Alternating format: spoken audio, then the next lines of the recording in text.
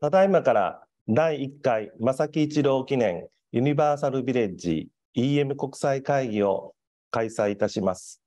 Good morning. It is a pleasure to welcome you all to the first International Dr. Ichiro Masaki Memorial Conference on Universal Village and EM。まずはじめに、琉球大学名誉教授、比嘉照夫先生から開会の挨拶をいただきます。それでは、比嘉先生、お願いします。First of all, I'd like to invite Professor Teruo Higa to deliver the welcome address. Please welcome Professor Higa. えー第1回の正木一郎記念ユニバーサルビリッジ EM 国際会議にあたってですね、えー皆さんにえご挨拶を申し上げます。えーこの会議はですね、あの、2013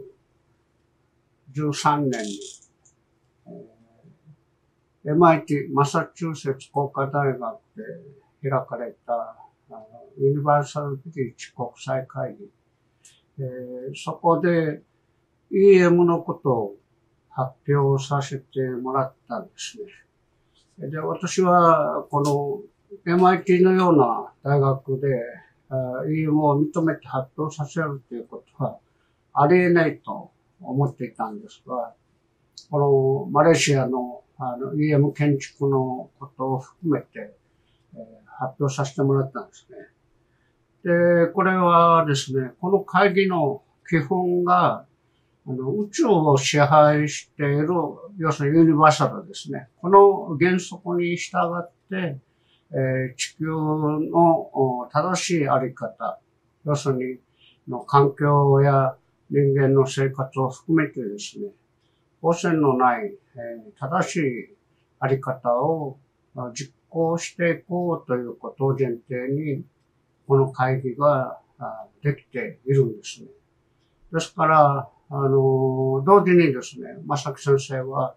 あの、すべての生態系の、あの元がですね、微生物によって、あの成り立っているということを確信されたんですね。それで、あの、今まで我々が、こう、何十年もやってきたことに対してですね、これが、あの、もうすべて正しいと。で、私が、この放射能が消える、放射能の、あの、吸収抑制をするとか、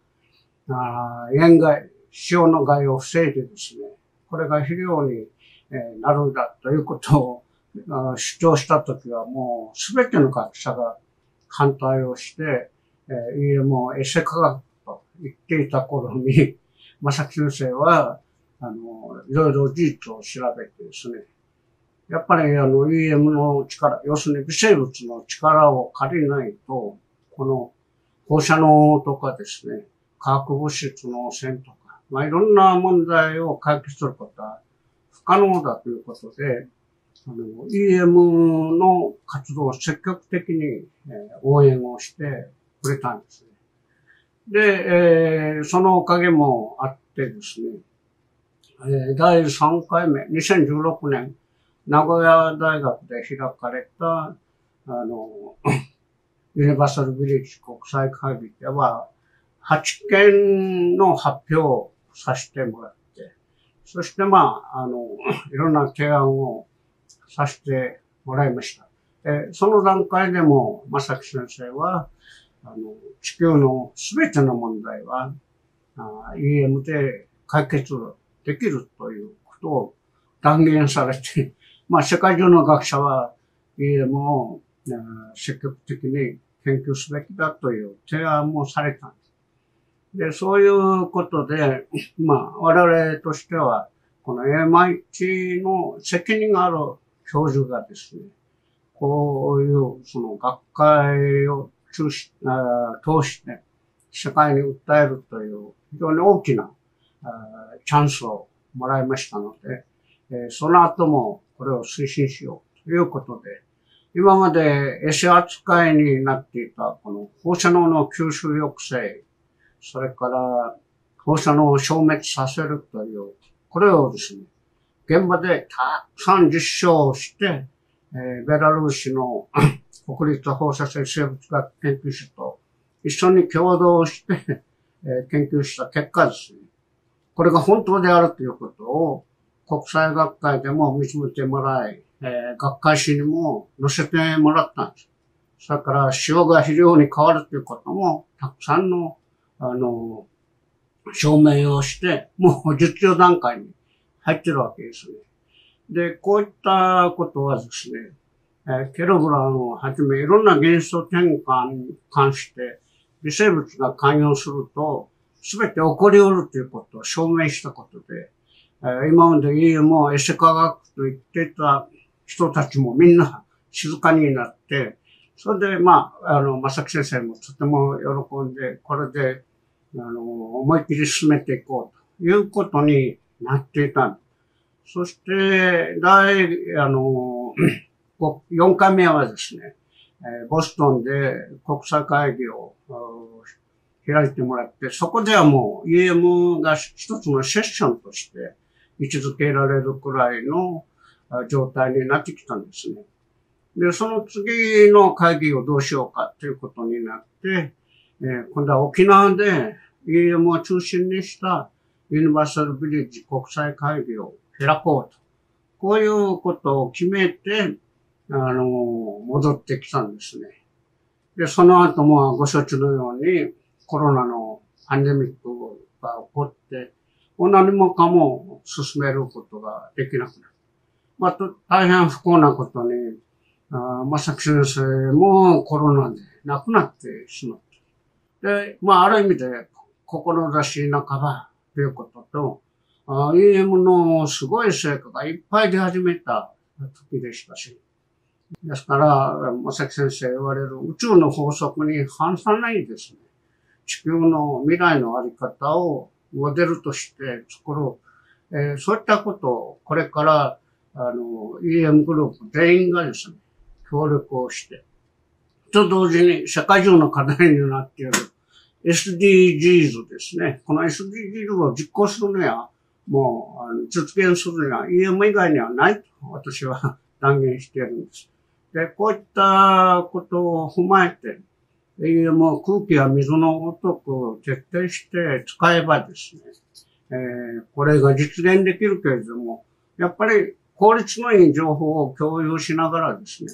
えー、一つずつ具体的な事例を勉強していくと。そういう意味で、えー、ある意味で今回の国際会議は EM の再出発って言いますかね。次元を変えた再出発になるということを認識して、えー、これからあとたくさんの人が発表しますけれども、この情報を参考にしていただければと思います。まあ、これからもまたいろいろ勉強してほしいと思います。ありがとうございました。比嘉先生、どうもありがとうございます。Thank you very much, Professor 比嘉。本日の会議は、正木一郎記念ユニバーサルビレッジ国際会議と名を打たせていただいております。ユニバーサルビレッジの提唱者である故正木一郎博士の奥様である正木幸子様より、本会会議開催に際しましてお言葉をいただいております。メッセージをご覧ください。Today, we are holding this conference in memory of Dr. Ichiro Masaki, the proponent of the Universal Village concept, and we received a message from his wife, Ms. Sachiko Masaki. Here is her message. この度は正木一郎記念国際 EM 会議の開催をしてくださりありがとうございました。正木幸子と申します。この貴重な会議に主人に代わって私のようなものにご挨拶の機会をいただきましたことを心から感謝しています。実は主人は現在世界のさまざまな地域では解決できないと考えられている。核汚染だけでなく生態系の法則による環境汚染が深刻な問題になっているため主人の属している MIT のインテリジェント・トランスポーテーションシステム研究センターのグループは人類が陥っているこれらの深刻な状況は科学者が競争ではなく協力してこれらの問題に取り組まなければならない段階に来ているという理解のもとに国際会議を立ち上げることにし、その名称も世界中の問題をすべて解決することを目標としたユニバーサルビレッジとしました。これらの全生物の共通部品である微生物は、また同時に食物、水、空気、その他の物質の循環と浄化においても最も重要な役割を果たすことによって、全地球生態系が恒久的に作動するという意味でも全地球生態系にとって必須の存在であることが明らかになりました。こうして地球生態系の法則を見出すことによって、理論的には生態系に関わる全ての問題を解決してくれる微生物という万能薬が存在することが証明されたとはいえ、これまで微生物が何らかの問題を解決したという例を聞いたことがなかった彼は、これらの研究成果に確信を持つことができず、2014年に MIT で開催予定されている第2回ユニバーサルビレージ国際会議で発表するのは、全地球生態系の法則だけを発表することにしました。そして、この国際会議の目標を微生物の生息環境を脅かす要因を除去するために、1として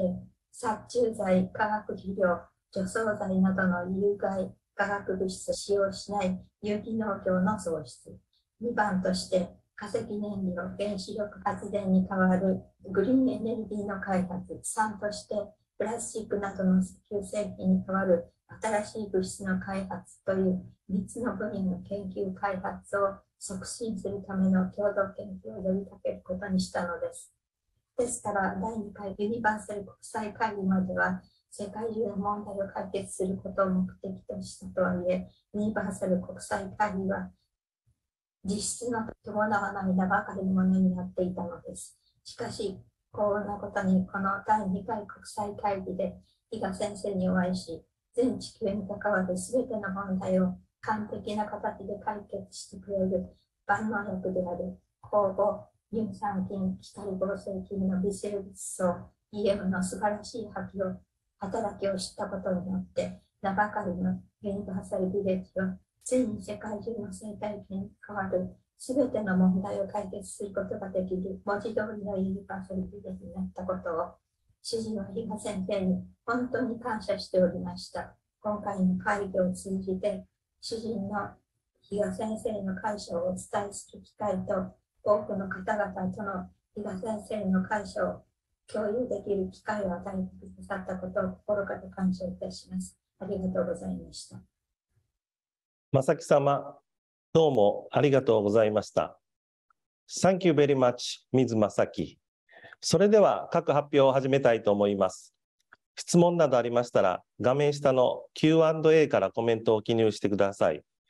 時間が限られておりますので、いただいた質問については回答をまとめ、後日改めて案内したいと思います。And now, let's get started with the presentations. If you have any questions, please leave your comments in the Q&A box at the bottom of your screen. Since we have a limited time today, we don't have time to answer questions during this conference. So we will provide a summary of the Q&A later. それでは最初の発表は株式会社ギフテッド代表取締役前島由美様による8世代先の子どもたちのためにです。前島様、よろしくお願いいたします。The first speaker is Ms. Yumi Maejima, Representative Director of Gifted Corporation, and her presentation is titled for the children of the eight generations ahead. Please welcome Ms. Maejima. 皆さんおはようございます。私は島根県出雲市で発達障害と診断された子どもたちが通う福祉事業所を運営しています。前島由美と申します。どうぞよろしくお願いいたします。現在、出雲大社のすぐ近くで、すべて自然で天然の素材で建てた古民家夢の森こども園に小学校から高校生までの約30名の子供たちが通っています。私は2011年まで25年間保育士として保育園で勤務する中、オーガニックな給食がアトピー性皮膚炎や喘息などのアレルギーの症状を緩和し、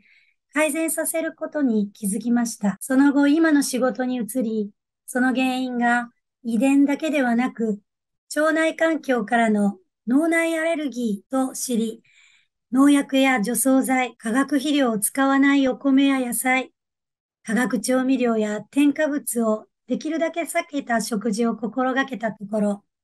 驚くほど子供たちの情緒が安定し、集中力がついたり、コミュニケーションがスムーズになることが分かりました。食への取り組みのきっかけとなった国光美香さんの著書、食べなきゃ危険には、一人のアスペルガー症候群の男の子の絵が、食事からのミネラル補給により、刻々と変わっていく事例が紹介されていました。以下がその男の子の絵の変化です。五感の過敏に苦しんだ時の絵が、生き生きと変わっていく様子をご覧ください。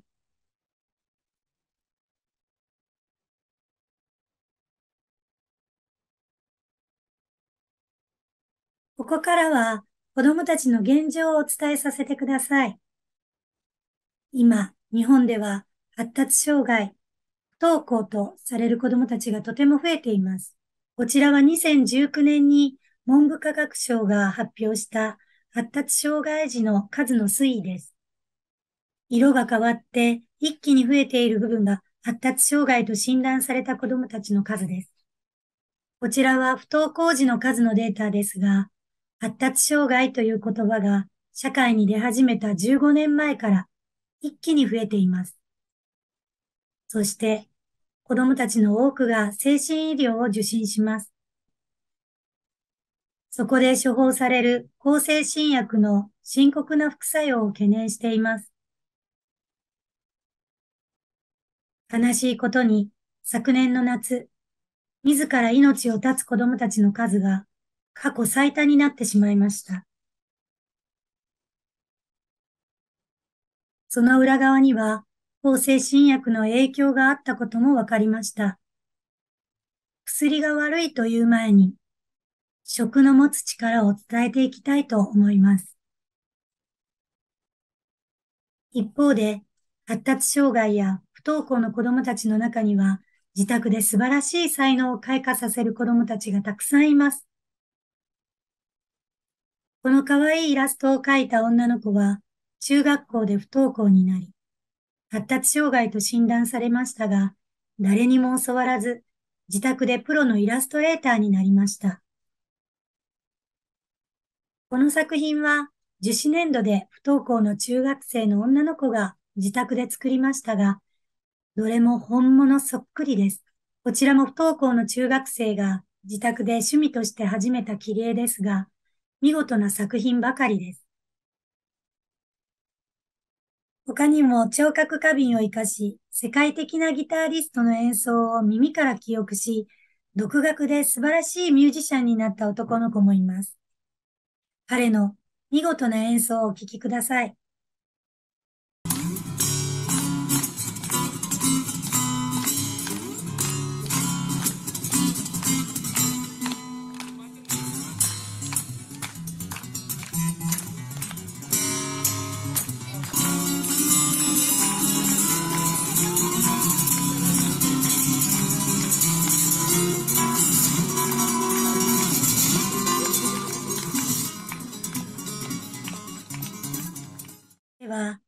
なぜこんなに発達障害が増えてしまったのでしょう？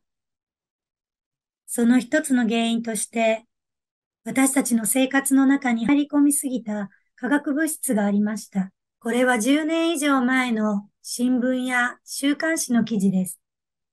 アメリカのハーバード大学の研究チームは農薬が ADHD の原因だと発表しています。化学物質は人体に悪影響を与えるだけではなく、心に必要な栄養も阻害します。自然な食から取れる微量元素が脳内の神経伝達をスムーズにすることで、精神を安定させることも分かりました。食の力を知ったことは、農業を通じて土壌の微生物の働きを知ることになりました。また、科学的な農業で地球環境指標であるミツバチが大量死している実態から、私たちの食が地球とつながっていることを知りました。すべては一つにつながっていたのです。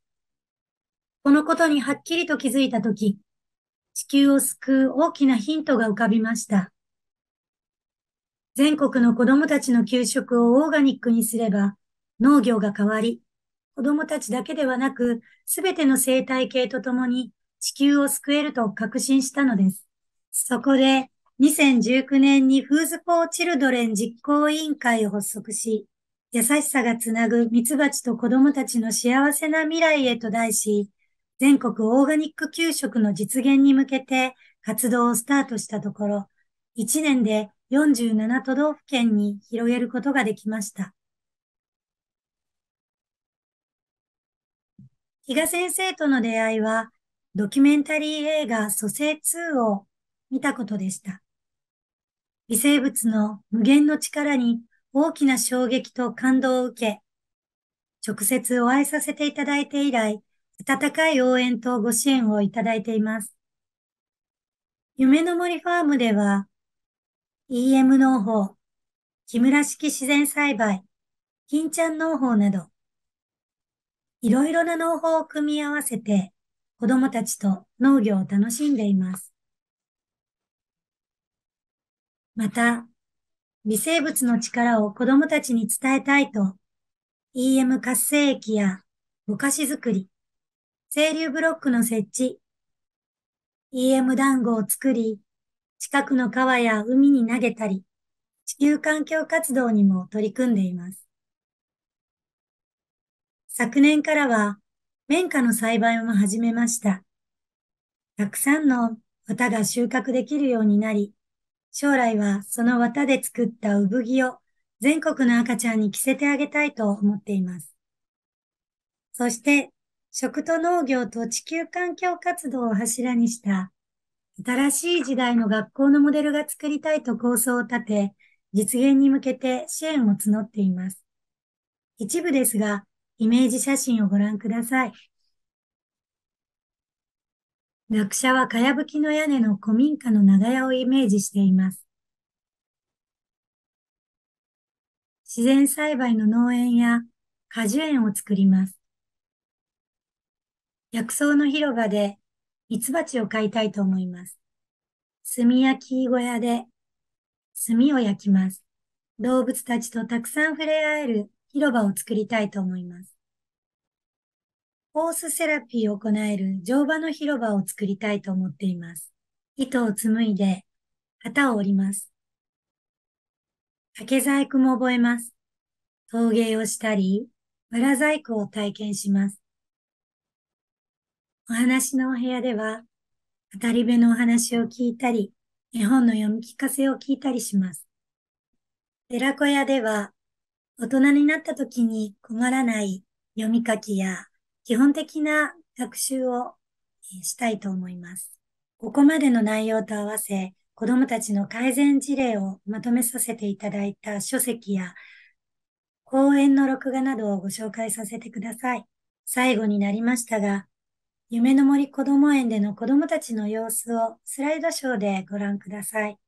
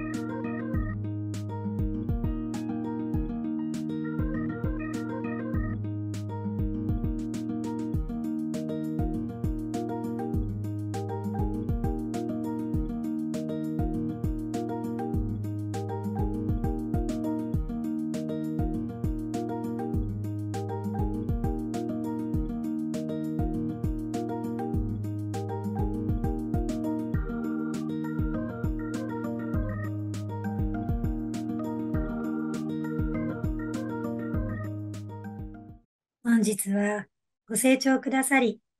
本当にありがとうございました。前島様どうもありがとうございました。Thank you very much, Ms. 前島。続きまして、NPO 法人地球環境共生ネットワーク石川文夫理事による農村都市のぐるぐるエコまちづくりです。石川様、よろしくお願いいたします。Next, Mr. 文夫石川、Director of the NPO Group Unit, will give a presentation about an eco-friendly town development by recycling food waste in Hokkaido, Japan. Please welcome Mr. Ishikawa. 地球環境共生ネットワークの北海道担当理事の石川文夫です。この2年間取り組んできているユニバーサルビレッジモデル作りということの進捗状況をまとめたものです。モデル名はですね、農村都市のぐるぐるエコまちづくり。モデルの目的です。えー実施して16年目となる EM を活用した生ゴミ資源化による食と農が地域循環するエコまちづくりを新技術の EM 清流結界農法でさらに推進し、SDGs を具現、農村と都市の全循環を進め、健康寿命を伸ばし、快適で安住できる社会づくりを目指すというのが目的です。事業内容です。現行の取り組みを核として、この循環の輪を太く、大きく広げる最大の課題は、生産農家が安全で美味しい有機農産物を手間をかけず収量を上げ、ローコストで持続的に供給できる体制を作ることである。EM 清流結界農法の新技術でこれを実現するということです。実施状況ですが、あ1として生ゴミ資源化による食と農が地域循環するエコまちづくりの現状です。現在、生ゴミ資源化システムとして、三笠市全市でですね、取り組んでおります。まあ、これは取り組んでもう16年目になるんですが、えーここに書いてある人口が約うん8000人弱、世帯数4600件ぐらい、年間生ゴミ量は560トンです。発酵有機肥料の製造量は118トン、年あたり。EM 活性液製造量は年15トンぐらいということです。それから発酵有機肥料及び EM 活性液を活用している生産農家の数ですが、三笠市で約15件、三笠市以外全道で15件の約30件です。このぐるぐるエコ有機農産物、これを我々はあのぐるぐるエコとこう称してます。その有機農産物及び特産農産物の販売を実施していますが、それを現在やってるのは東高ストアで12店舗、えー今年から14店舗についこの間から増えました。コープ札幌宅配、えートドックですね。それから札幌三越丸いデパートの2店舗、それから K&K の直売所です。実施状況の2ですが、これが生ゴミ資源化による食と農が地域循環するエコまちづくりの大体の図です。えっと、まずはこの円の中のやや右上ですね。ここで、まあ、一般の消費者、家庭で生ゴミをこのように BM 生活さんと一緒に開発したこの抗酸化バケツを使って、これを家庭で、えー生ゴミを分別して入れます。で、それを1週間に1回、月曜日から土曜日までですが、地区別に分けて収集してます。で、この集積場ですね。こんな写真の状態です。この集積したものを車で運んで資源化センターまで持っていきます。で、この資源化センターで肥料化されます。このできた肥料が発酵促進剤、まあ、俗に言うぼかし肥料ですが、生ゴミ堆肥化の時の家庭のバケツにこれを振りかけると、よりまあ発酵が促進されて、まあいいな、廃品であると。でこのできた商品を生産農家のとこに供給して、ここでこだわりのぐるぐるエコ農産物ですね、栽培し、それが消費者のところにまた戻るということです。この過程で、まだあの三笠市もですね、全部できてないんですが、一般家庭からこのバケツをですね、このように水分を取るわけですが、この水分自体がもうすでに善玉菌いっぱいの微生物ですね。これを流しとかトイレとか流しますと、これが処理場にも行って処理場も浄化されると。あるいはそれをまあ畑にも使えるということですね。えー、それから生産農家のところで、このぼかしを使うことによって、これ農家が今、手巻きと機械で巻いてる絵になっておりますが、まあ、今は手巻き地のほとんどなくて、全部機械巻きになっております。これを巻くことによって、農地が浄化されて、で、それから農水路を通って河川も浄化されて、やがて海へ行くということで、全体として海海が蘇るということになって、一番上流からですね、やることで、えー、こういうことは可能じゃないかということで、まあ、これに取り組んで16年目になっております。システムのフローです。家庭でこのようにバケツで持って生ゴミだけを分別して入れると。でこれは収集してますよと。ゴミ出しをしてますよ。トラックで収集してますよと。それが、はい、資源化センターに行きます。ここで福祉剤と混ぜて、えー、発酵熟成して、まあ、製品化しているということです。この液肥もですね、えー、さらに EM 活性器を入れて、えー、発酵させて液肥として畑に使うと。北海道はタンクローリーでですね、畑巻くというシステムができてなくて、まあ、それもテスト的に今やっているところです。次は、あの、地震状況を4ですが、EM 整理決壊農法ということで、比嘉先生の指導を受けてですね、やっている。ハウス栽培では、このように EM 整流ブロックを設置するということで、設置箇所は平面の約6箇所を2段にすると。小さいハウスですと4箇所になりますけども、ハウス内の施肥ですが、次の露地栽培説明します。え、これ露地栽培です。露地ですから、整流ブロックは1箇所、まあ、隅々と、あとは直線部は50メーターに1箇所ぐらいを設置しております。清流ブロックの頭には月1回程度、やはり活性液を散布する。で、この部分は、今は点滴方法で、えー、1ブロックの農地の1箇所にですね、えー、散布するという方法をとっております。これは後で説明します。2番に、清流結界内の農地の施肥等ですが、これは EM 生ゴミぼかしですね。作物によって150から500キロ10割あたり施すと。そして農業残差とか雑草もすべて農地に一緒に戻します。EM 活水活性液を、これも100倍から500倍に記写したものを散布して、えー、年春と秋2回、えー、散布をすると。いうことで進めております。EM 清流結界次第の制度です。基地としては、K&K の三笠 FA リサイクルセンターで作っておりまして、体制はセンター長ほか5名でやっております。ブロック製造数は21年は500個、22年は約300個製造しました。配合表はここに下のように書いてある通り、これも比嘉先生の指導に基づいて配合しております。次は BM 海水活性器ですね。これはあの2021年は約600リッター。で今年の22年は約1700リッターを使っております。えー、配合はここに書いてあるような通りです。ここに出ているような形で、えー、このように、作っております。え農家での現地作業と状況ということで、概略まとめました。これはあの、大塚ファームで新篠津村ですね。もう EM に取り組んで、もう25年以上で、有機農家として、えー、農林水産大臣の賞を受けてますし、えー、いろんな賞をたくさん取っております、優秀な有機農家でございます。作業状況ですね。えー、まあ、昨年は高温の干ばつだったんです。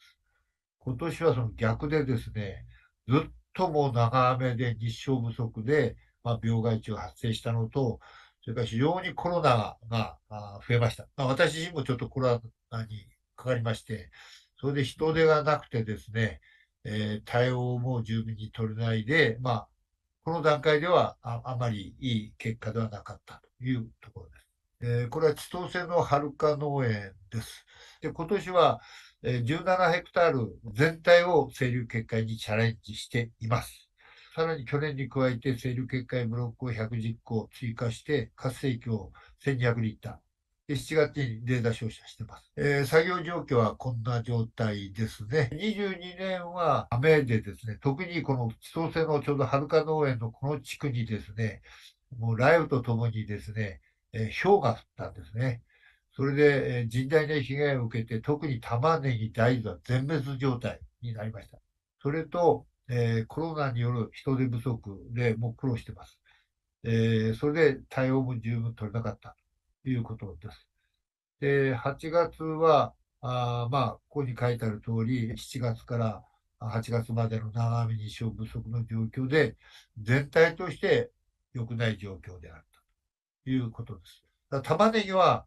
回復がなかなか、えできなくて、まあ、昨年のほとんどダメになったんで、まあ、1割ぐらいの収量がしかなかったです。ただ、かぼちゃはですね、叩かれて雨がやられたんですが、まだもう一回持ち直しまして、大体、あの、昨年よりもいい状態になって、通常通りの収穫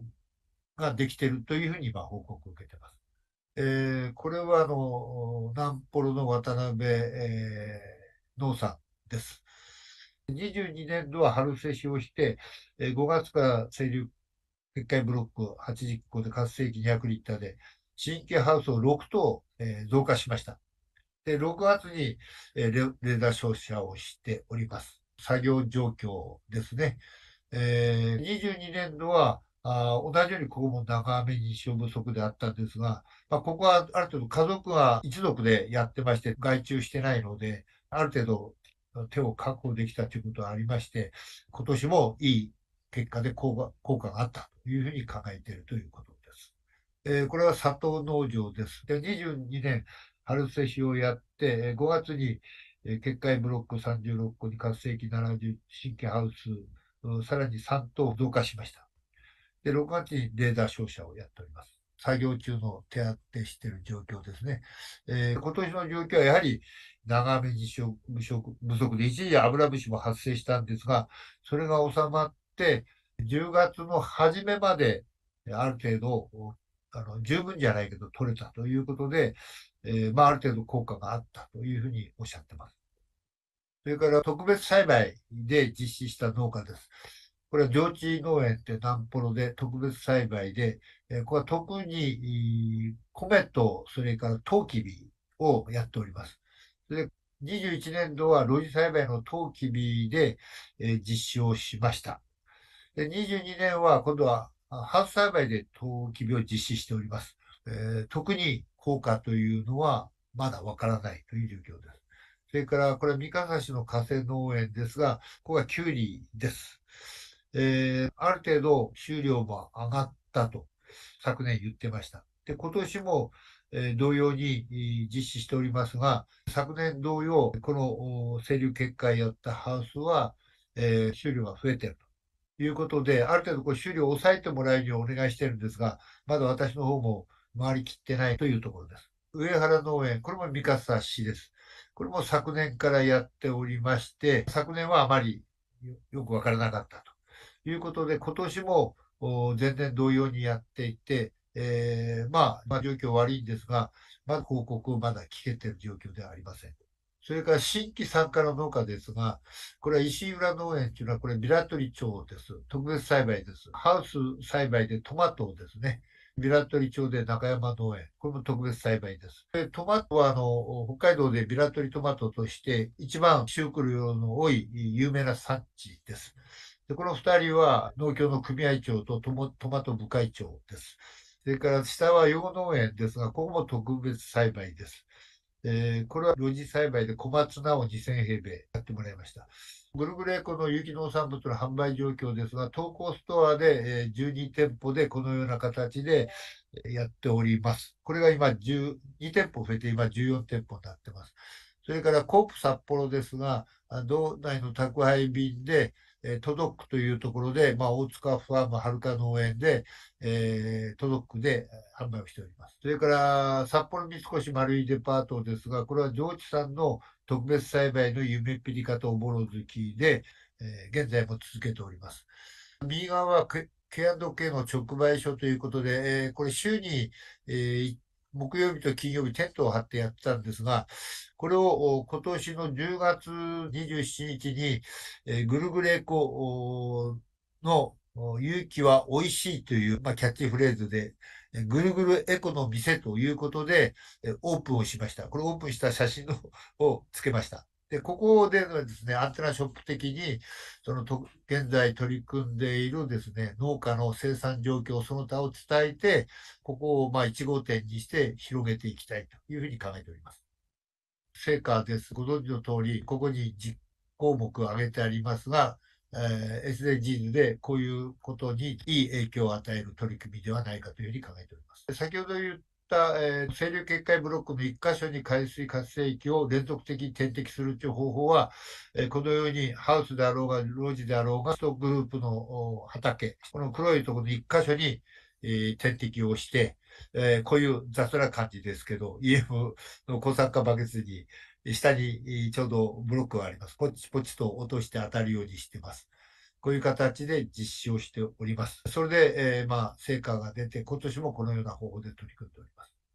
これ昨年行ったあ EM 清流結界農法研究会ということで農家とグループを作っておりまして、11月28日に、えー、新市の津でそういう会をやりました。大塚さんが言ってる通りですね。まあ、わからない部分もあったけど、全体としてはいい傾向だというふうに思うということで、えー、点滴方法でですね、ブロックに1箇所で、えー、点滴できるんであれば可能だということで、まあ、非常にそれはいい方法ですねということです。で、はるか農園ですが、今年はあ全体17ヘクタールをやりたいということで、今年はやっております。で渡辺農園はハウス全量を続けたいという、まあ、効果もあったということです。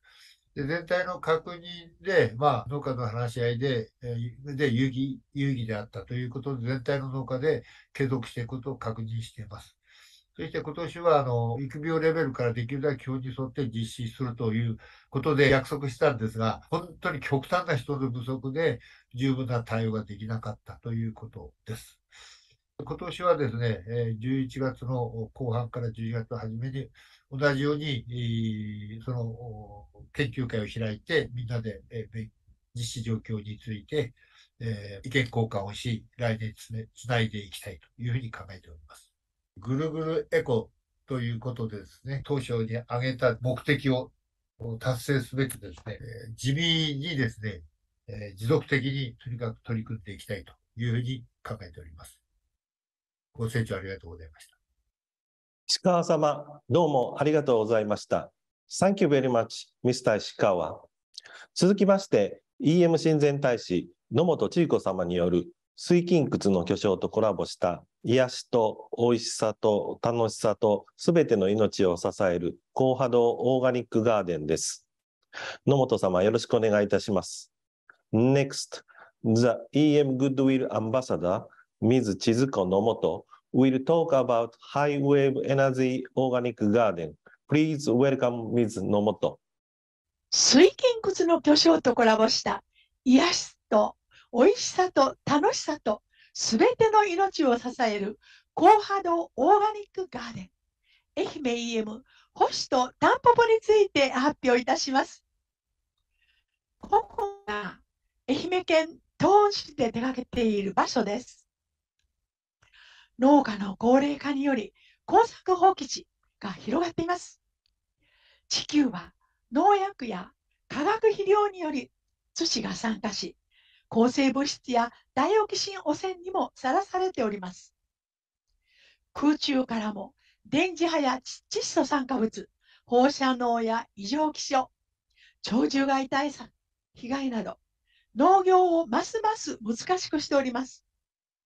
また、これまで EM で頑張ってきた農家にも終了や形状にとらわれるだけでなく食べた人が元気になる幸福度を考え始めた農家も出始めました。幸福度とは感謝や喜びなどの精神エネルギーが作物の質を高めることが分かってきたからです。つまり食べた人がハッピーになる美味しいだけでなく、細胞が喜ぶ作物を栽培できることが分かってきました。農水省では、2050年までに農地の25%を有機農業にすると発表しています。私は何年も放置された畑の土の状態が驚くほど劣悪な数字に数字を示したことに驚きました。そして自然栽培や有機農法といった栽培方法が信頼できるものではなくなっていることを突き止めました。もはやこれまでのオーガニック栽培では劣悪な環境を改善できないということです。改善のためには結果技術によって宇宙の電子エネルギーを取り入れることが必要だということです。そのためには素粒子である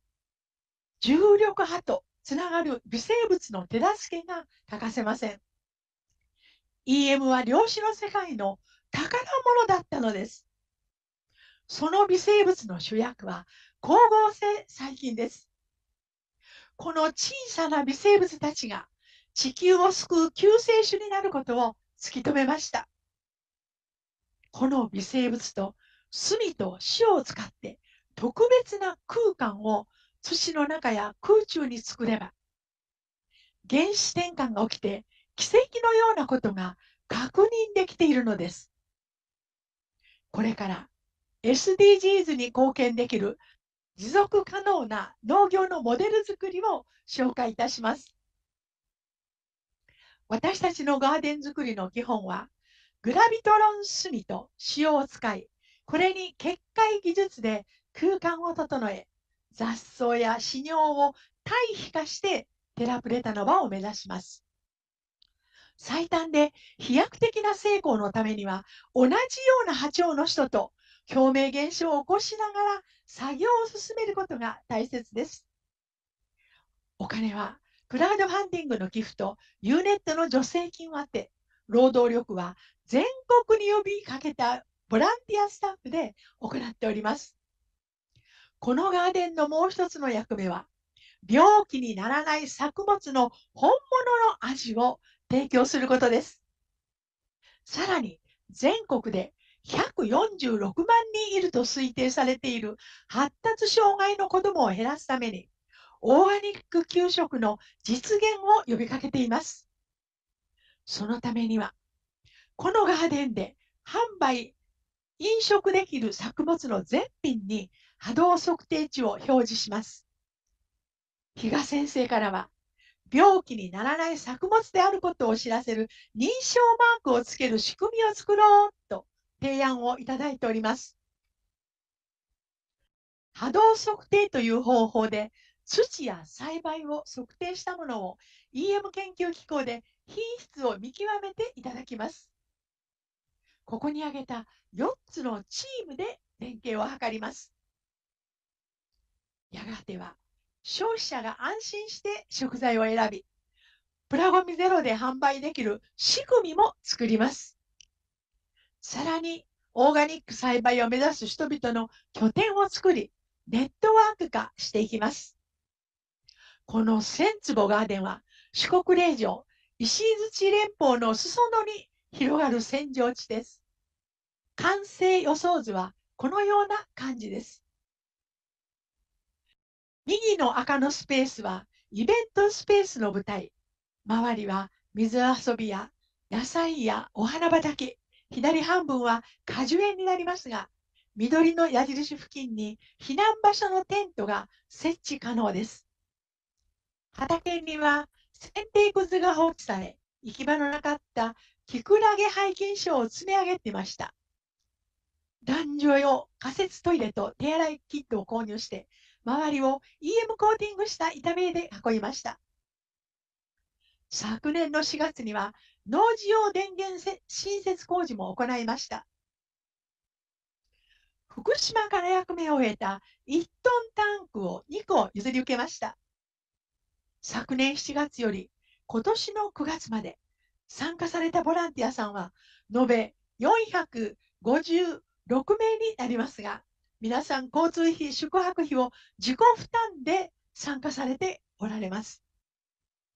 参加者は勉強会と現場実習を兼ねていますが、結界のパワーを確認するオーリングなども身につけられます。昼食も大切な仲間づくりの場になり、テントにも結界もありました。ボランティア所持、作業開始直後、熱中症で倒れた会員さんは、意識も脈も失いました。そこで EM 応急手当として学習した電磁波防止スマホなどを活用して心臓にトントンを繰り返したところ、意識も脈も回復するという奇跡が起きました。最初の作業は500坪の畑に大きな穴を6つ掘り、それぞれの穴に訓ン10リットル、グラビトロン炭 500cc と塩5キロを入れて海水活性液であなた穴をつないで結界を作りました。次に畑全体に有機物を増やすように米ぬか100袋を散布しました。出来上がった結界は参加者全員で EM3 時を唱えたり柏で折ったりしながらレーザーを用いてパワーアップしました。黄色の袋の中身は雑草を100倍の活性液を入れて堆肥にしているところです。EM 栽培で昔から行っていた逃がしぼ型を作って土作りを行ったところ、瞬く間にダメな土になってしまいました。魚粉がダメな原因です。円形の畑では特別な波動の高いペットボトルを作って結界を作りました。なんと、土の上にはグラビトロン炭と雑草堆肥を置いただけなのに、免疫が834と信じられない結果が現れたのです。これは特別な結界のパワーの中で光合成細菌が最大限の力を発揮したことを示していると実感しています。そこでエネルギーを集める炭の働きを生かし、ダメになった土をグラビトロン炭100%と、その炭に私たちが無塩炭火器で作ったより波動の高い炭を混ぜた2種類の炭の方法で土の修復を試みました。免疫3は436と462の数値にまで高まりました。わずか50日で驚く土の改善ができたのは、隅の力と結界の力に他なりません。ガーデン作りにボランティアでは解決できない作業を良心的な業者に依頼して進めました。駐車スペースのクラッシャー投入。通路も駐車スペースもあっという間に整いました。使われなくなった鉄柱や古い木の株。これはユンボで取り除きました。放置され、破れてネットはボランティアで取り除けました。蘇った工作放棄地です。並行して行ったボランティアによる活動では、大結界や炭作りや一軸の挿し木などを行い、簡単な備品収納倉庫を設置して、樹木の EM コーティングや防風ネットの取り付け、土の修正などに励みました。季節野菜が植えられる環境を整え、キャンプ場となるスペースの砂利流しを行い、記念樹の植樹も行いました。1月の寒い時期でも4日間に延べ61名の参加者が集いました。再度募集した寄付も集まり、水金窟の巨匠による星とタンポポ広場の工事も開始されました。手洗い場の流し水がメロディーを奏でます。このスペースでは、季節の野菜やハーブを育てるだけでなく、ピザを焼いて食事もできるようになります。この囲いの塀は、すべて EM を使ってボランティアでペインティングを行いました。一方、6月8日から開始したユンボと手彫りによる井戸掘り作業は2ヶ月を要し、8月の2日に待ちに待った水が湧き出てきました。しかも、免疫668もある驚異の水。富士山から湧き出る水に負けない数値です。10メートルの深さの水脈からの贈り物です。このガーデンで使っている1トンタンクの活性液は満月の海水に EM3 を加えて発酵させます。このガーデンでは死尿もゴミもすべてものを完全に循環させる仕組みを作ります。死尿には仮設トイレに1%の活性液を入れていますが、時々300リットルのタンクに移し替えて10%の活性液を入れて2週間発酵熟成させたものを堆肥として使用します。作物の堆肥にして使う場合は100倍に薄めます。この広場の正式名称を愛媛 EM 星とタンポポと決定し、きちんとした方位にかなう仕上げの運気を高める空間づくりも計画して、畑の中心には全体のパワーを上げるために水晶玉の埋設を行いましたところ、6120のパワーを発している確認が取れ、半径3メートルは特別な癒しの空間が実現しました。ところが、6月8日から井戸掘り作業のために掘り起こした土が至るところに積み上げられたために、これまで行ってきたガーデン作業がことごとく中止となり、2ヶ月後には畑が雑草ジャングルに様変わりしてしまいました。敗北感の中で私は水もやらないほったらかしの畝の中で元気に育っているキュウリやナスやトマトの姿を見つけたとき、雑草が野菜を助けてくれていたことに気がつきました。テラプレタノバは雑草を宝物として雑草と戦ってはいけない。ふんだんにある雑草を踏み倒して有機物と塩と死尿堆肥をまいて放棄された敷物で覆いながら熟成発酵させていこう。再び仲間が集まり、畳屋から不要になった大量の畳表を集めていただき、新たな挑戦が始まりました。では、その様子を動画でご覧くださいませ。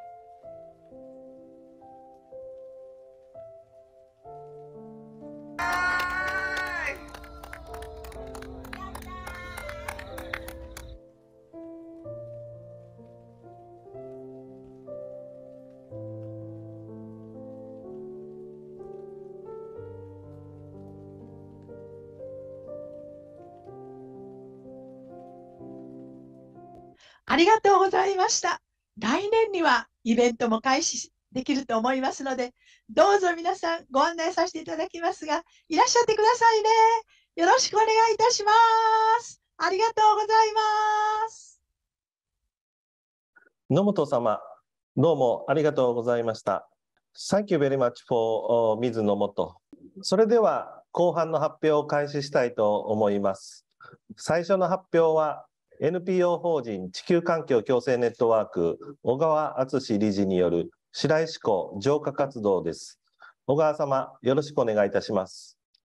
And now, we'd like to start the second part of the conference. The first speaker is Mr. Atsushi Ogawa, Director of the NPO group UNET, who will talk about Shiraishi Lake Cleanup Project. Please welcome Mr. Ogawa. こんにちは。ユーネットの小川です。よろしくお願いいたします。え今回は白石湖浄化活動を報告させていただきます。え三重県の紀北町にあります。2019年4月から2022年9月までの報告をさせていただきます。え紀北町ですけど、まあ、地図上で見るとここに当たります。え近くには大阪、名古屋があります。白石湖ですけど、ここにあります。え南北が1500メートル、東西が400メートルです。で深さがだいたい8メートルから10メ12メートルです。横に川が流れていますので、まあ、汽水湖ですね。ここで渡り柿を養殖しております。年々こう渡り柿の収穫が落ちてきましたので、そこで EM 活動させていただきます。で現在ですね、4年間経ちましたので、ここに EM がもう住処としてできております。で川を通してですね、まあ、早稲湾って書いてありますけど、これ引き元です。引き元に流れて、海もだんだんきれいになってきております。で、GPS を使ってですね、えっ、ー、と、海にですね、ちょっと仕掛けを作りました。これは何かと言いますとね、ちょっとあの外に青い数字で1から6までありますけど、まあ、あの畑や田んぼをイメージしてください。そこの、えー、決壊ですね。清流ですね。清流をここで海の中で、湖の中でやるってことです。で、赤いとこが一応これ、えー、測定場所っていうことで作りましたけど、今現在は8番のとこで測定していただいております。で、それを開く、こう見せますと、青いとこは1から2、3、4、5、6って外回りをやってます。で、測定場所はこの8番ですね。で、このブラコン第12キロと各2個、6箇所をつけて、これ外回りができて、これ結界です。で、このフロートとフロートをつなぐのに小さいブラコンを使ってます。普通、田んぼや畑で言うと活性器を巻くのと同じことですね。これを小さいブラコンを入れてつないでおります。その報告をさせていただきます。この外回りがですね、こういう状態で作ってあります。フロートに EM と書いてあります。で、大きなブラコン、で、小さなブラコン、小さなブラコン、ど大きなブラコンで、土のが仕掛けてあります。このこれはもう一番下の大きなブラックはもう土の中に真っ黒とイメージしてください。結局、田んぼや畑で清流かけるときに四隅に塩と炭を入れると同じかあの思いと思ってください。で、これは6箇所囲んであります。で、真ん中にですね、5箇所、この形で、まあ、定点場所として8番を、まあ、利用してますけど、こういうのが沈んでおります。で、これは、まあ、漁師さんとか船頭さんにあの協力していただいて作りました。上に大きなフロートに EM と書いて、これが11個海の中に浮いてます。で一番上にこれは12個のブラコンを置いてありまして、で、下に小さいのを置いて、一番下はこの大きなブラコンが多分土の中に埋まってると思います。で、これで12個作りました。で、作業ですけど、2019年の4月11日から投入準備を始めました。これは、えー、私たちが作ったフラゴンですね。これ土のですね。で、このメンバーで仕掛けを作りました。で、この清流ブロック、あまあ、ブラコンっていうのは清流ブロックのことなんですけど、これ小さいのは牛乳パックです。牛乳パックで作りました。これはちょっと大きめで真ん中に穴開けてあります。これ土のですね。この中には砂利が入ってます。一つの仕掛けに5個の、えー、土のがぶら下げてあります。これで、えっと、高さとか移動を調整しております。これもうダイバーさんが全部やってくださってました。こういう形で、フロートがあって、大きいのがあって、ちっちゃいのがあって、しました。これですね。さっきの手です。手ですね。でこれは、真ん中は通してあります。でこういう形で土のが一番下につながってます。で、海底に沈めるときですね、どういうふうにやったかと言いますと、船の上に全部積みましてですね、これを投入しました。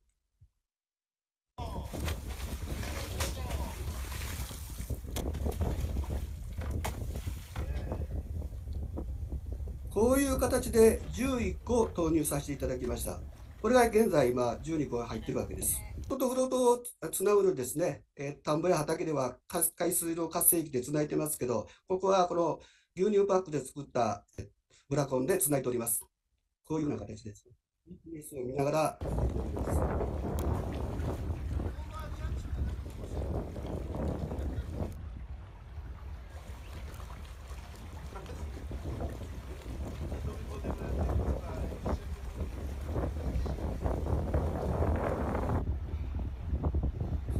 あの伊藤さんの言い方ですね、これは幻の渡りガキっていうところ、あの有名なところなんですけど、伊藤さんにちょっと協力していただきまして、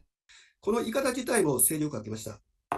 これが上から見た図なんですけど、四隅に仕掛けを作りました。まあ、あの四角い畑をイメージしていただくとありがたいんですけど、四隅にブラコンを吊るしました。えーっとですね、イカダっていうのは、家庭の場合、これ、7月にはこの高さ2メートルですね。10月には0.3メートル、11月には5メートルとこう、シーズンによって高さが違うそうです。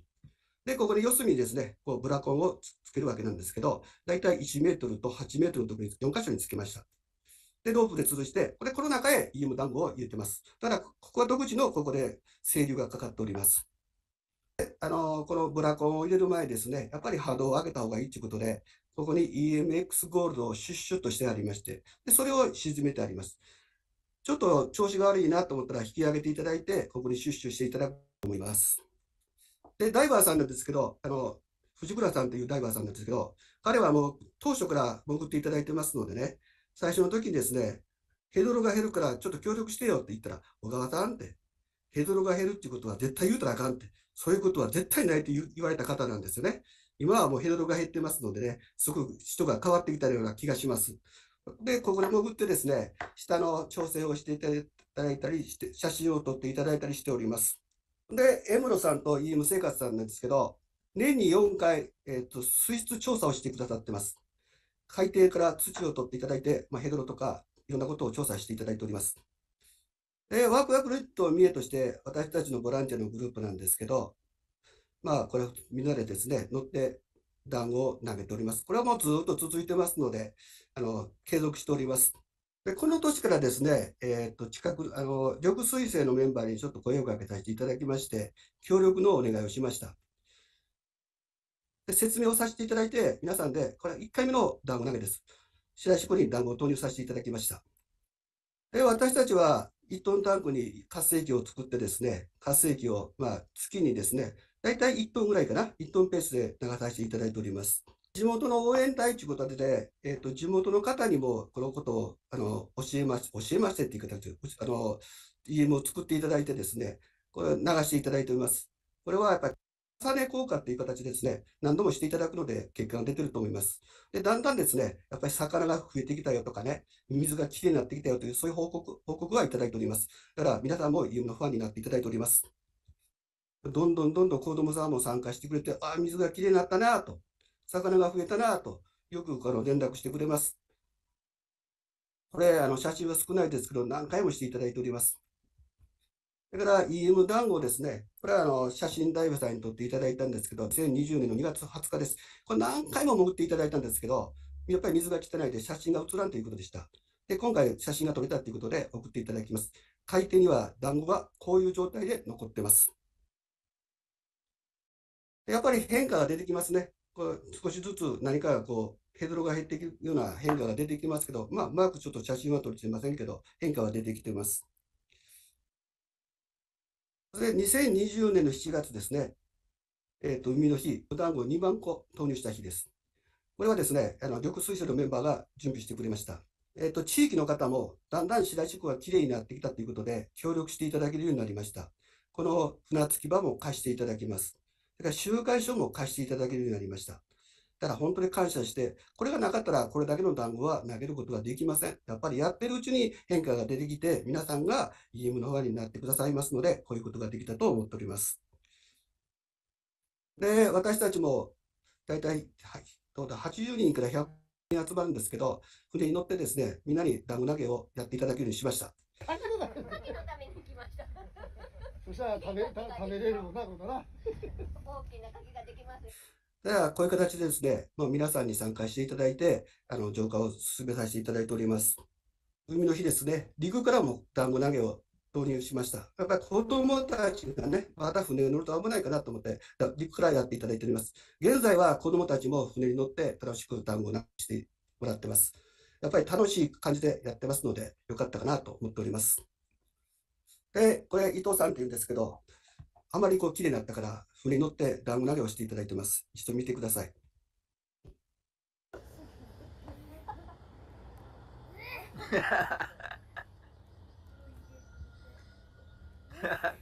すごいすごい。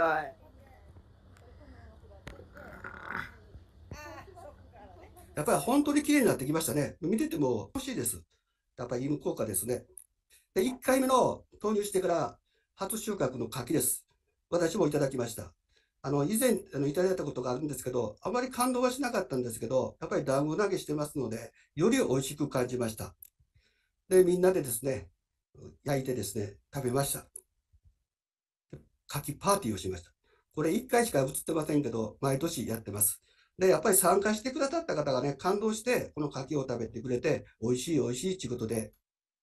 活動がだんだん広がってきます。ただ EM ファンが増えてきております。本当に美味しいです。1回目です。で、2021年にですね、やっぱりまたワクワクネット見えて、チャーターしてましてですね、また団子を投げました。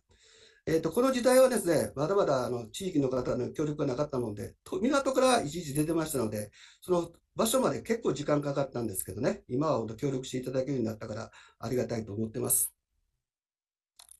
この船着き場です。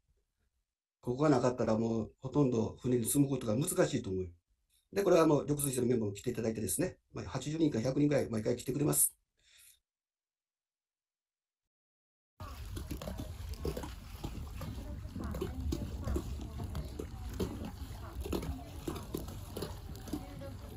えー、こんな状態でですね、EM さんありがとう、EM さんお願いしますという形でね、みんなでこう投入しております。それでですね、えっ、と、2021年10月16日なんですけど、1万個投げたんですけど、ダイバーさんに潜っていただいてですね、ヘドロを採取してもらいました。あまあ、色はちょっとまた黒いですけど、匂いが和らいできました。で、これをみんなで匂い嗅いでいただいてですね、こんなん変わってきたよっていうことで、まあ、ちょっと子供さんは臭いねっていうぐらいいうぐらいで、ほとんど匂いがなくなってきました。あの、緑水星のメンバーも来ていただいてですね、やっぱり船に乗ることも楽しい、楽しいということでね、を皆さんが順番に待ちしてですね、乗っていただいております。この一番前におるのは、ダイバーの藤村さんです。まあ、これが、彼がいなかったら、このね、ことができなかったと思っています。大体1回に1000個から1500個ぐらいを目に積んで、皆さんにいただいております。でやっぱり地元の方もね、だんだんこう増えてきまして、子どもたちもな投入することが嬉しくなっていたんかね、結構皆さんが協力してくれます。で、ここで水を見てですね、綺麗になったとかね、小さい魚が増えたとかね、大きな魚もいるんですよ。黒鯛、死ぬがね。それ悠々と泳いでます。そういうね、ビデオも撮ってくれて、送ってくれたりしました。だからやってる人たちが感動しましてますね。ありがたいです。この、外回りの、えっ、ー、と、この大きなブラコンですね。ここです。ここにちょっとダイバーさんから、小川さんちょっと変化あるよっていうことで連絡いただきましたのでね、ちょっと見に行きました。このブラコンです。こんだけ柿がつきました。で、ダイバーさんも不思議やなと言われましたのでね、一回これがブラコンにだけつくのかね、普通のコンクリートにもつくのかね、一回実験しましょうかっていう形で、一回実験することになりました。で、今回もダイバーさんに作っていただきましてですね、EM のこの仕掛けを2つ作りました。え水深1メートルと2.5メートルです。えブラ上にブラコン、下にコンクリート、能で高さを調整して、道行きも負けない、安定するようにダイバーさんに潜ってやっていただきました。で、こちらはコンクリートブラコンですね。約10メートルぐらい離して、これを沈めました。実際の写真ですね。フロート、ブラコン、コンクリート、で、下に土のがついてます。こっちはフロート、コンクリート、プラコン、土のがついております。ダイバーさんに潜っていただきました。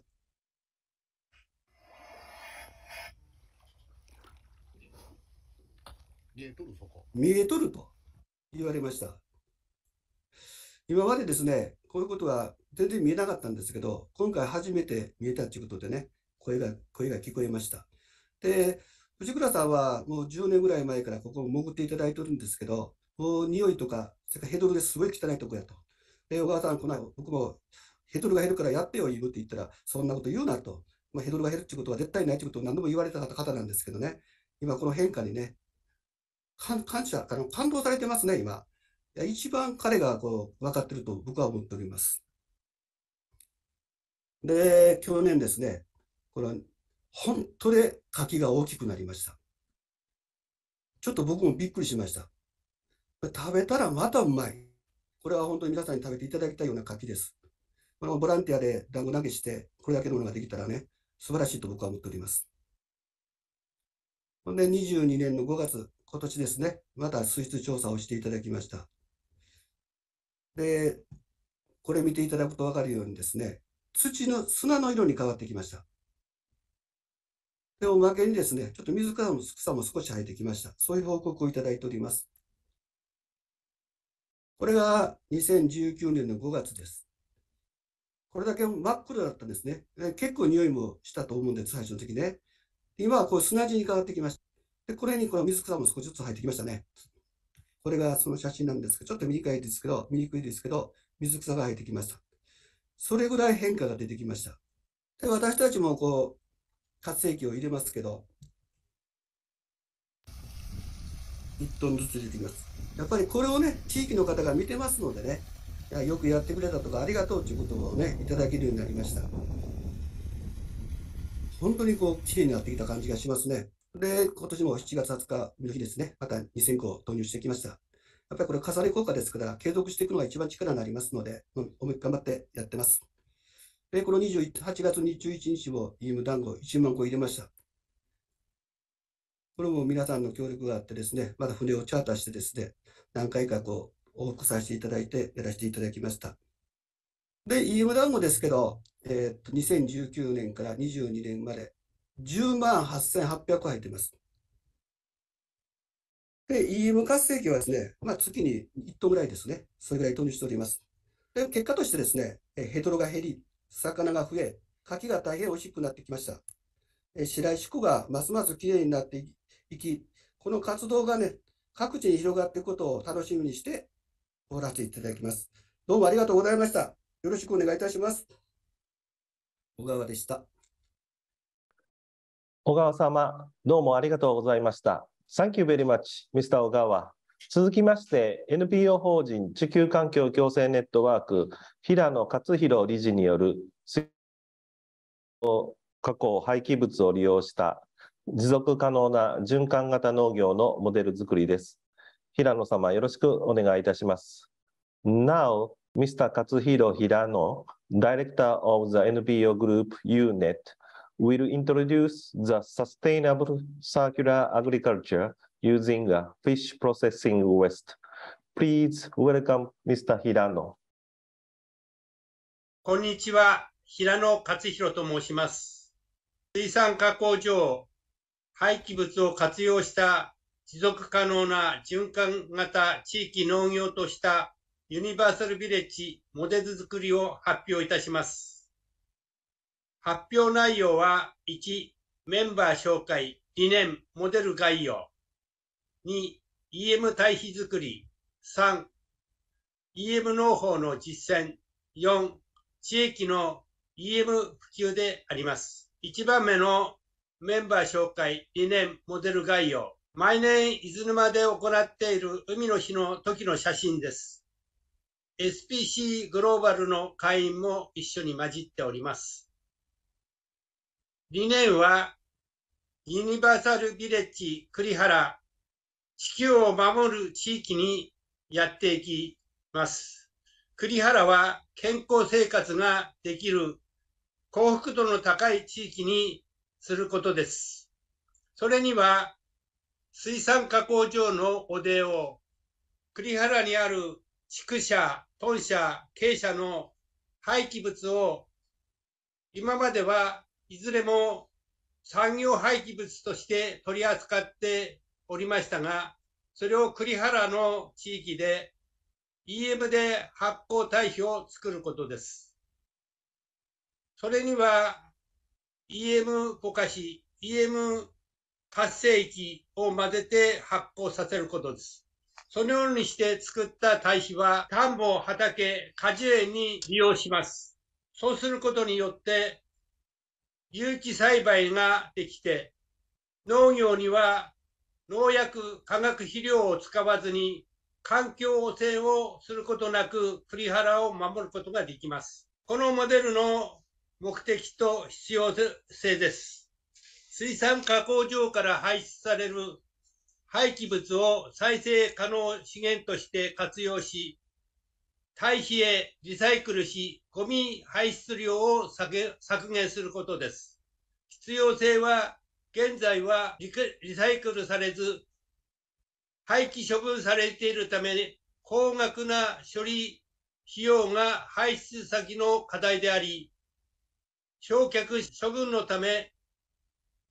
方法としては EM を活用し、高品質な耐子を作り、安全、快適、ローコスト、ハイクオリティで持続可能な循環型地域農業をやることが方法です。その目標は、一つは水産加工場から排出されるゴミを削減し、堆肥として利用することです。年間8流米を目標にしております。2番目は、最新 EMO 技術を習得するために勉強会を開催します。年2回予定してます。3番目に、市民農園を開園し、利用者を募り、循環型地域農業を普及します。10組予定しております。これによって得られる効果と成果は SDGs で掲げている11番目の住み続けられるまちづくりの目標が達成されます。12番目の作る責任、使う責任の目標を達成することができます。15番目の陸の豊かさを守ろうの目標を達成することができます。2番目の EM 対比作りです。目標を確実に実施及び達成するために、上記のような計画表、ロードマップを作成してメンバーで共有しております。水産加工施設から排出される廃棄物を EM 対比化するために、2021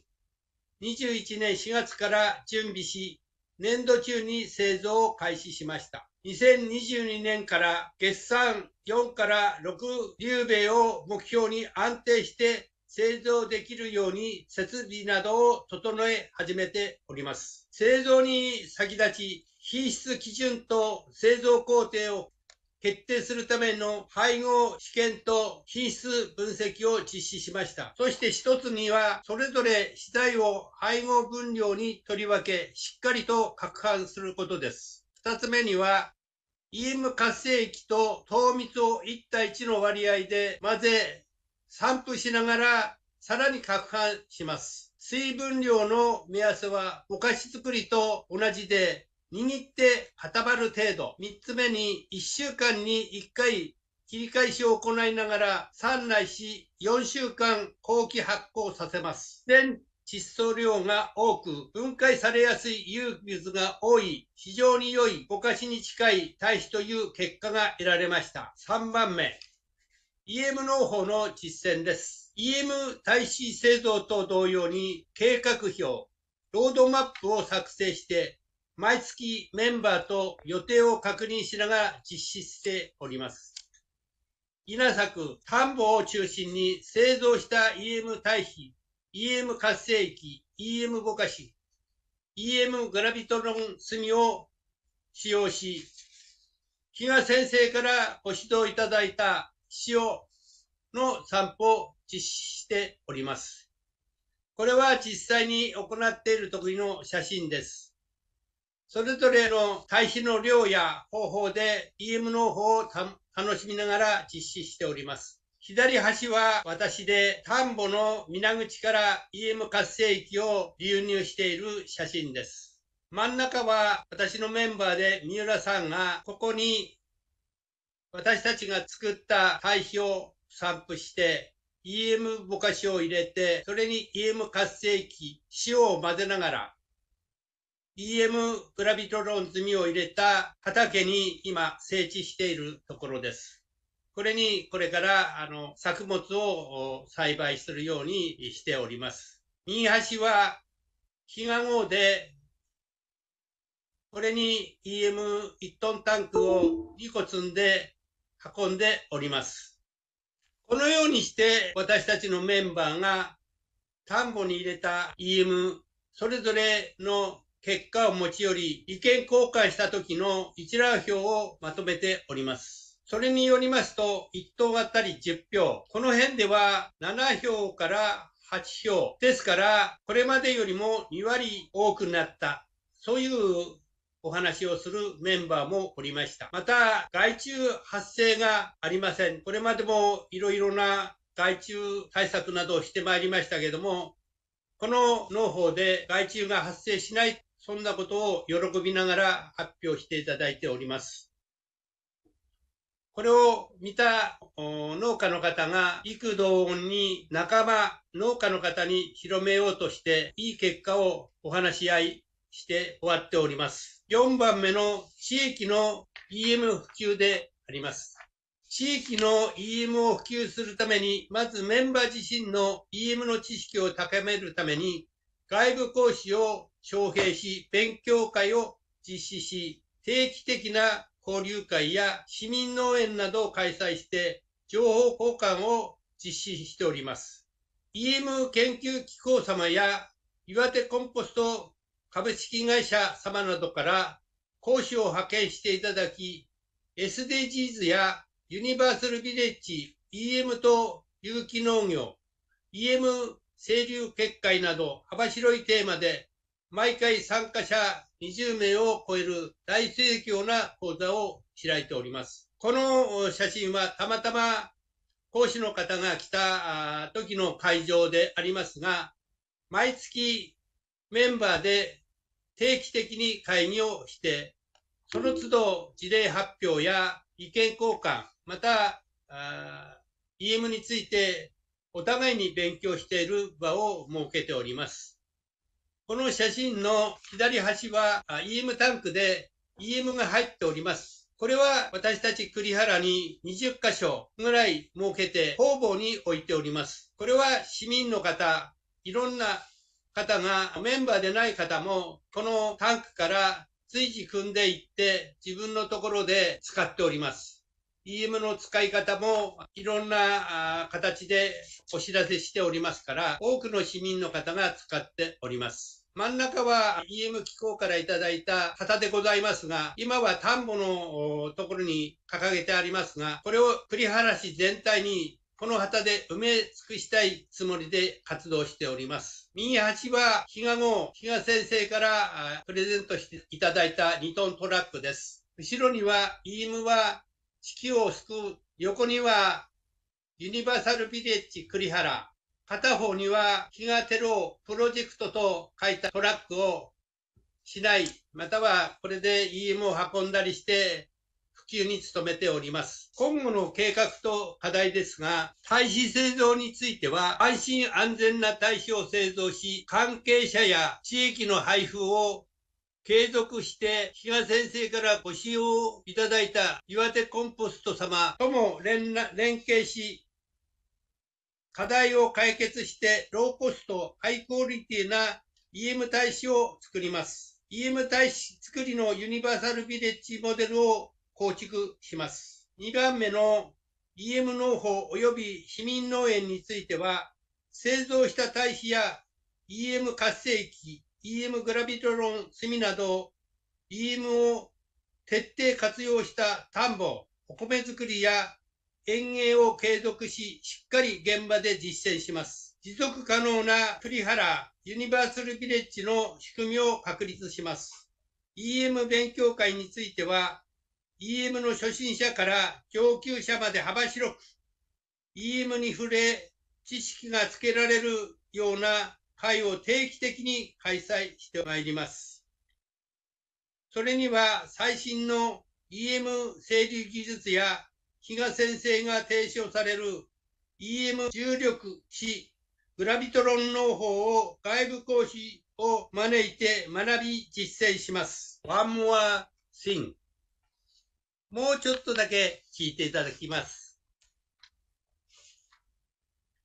今まで水産加工場に行って、水産加工場の困っていること、水産加工場の浄化層から出る廃棄物がトンパックで1ヶ月3つぐらい出てました。それを何とかしてくれないかって言ったときに、EMO 浄化層に入れたらいいんじゃないかと提唱したところ、現場責任者がすぐに実行していただきました。そうしましたら、トンパック3つが土の袋3つに減少しました。現場の方から大変喜ばれております。そうすることによって、このおでの廃棄量が少なくなって、これが廃棄物として処理されることなく、POC を出さずに、今、廃棄物としてでなくて、有機物に変える方法をとっております。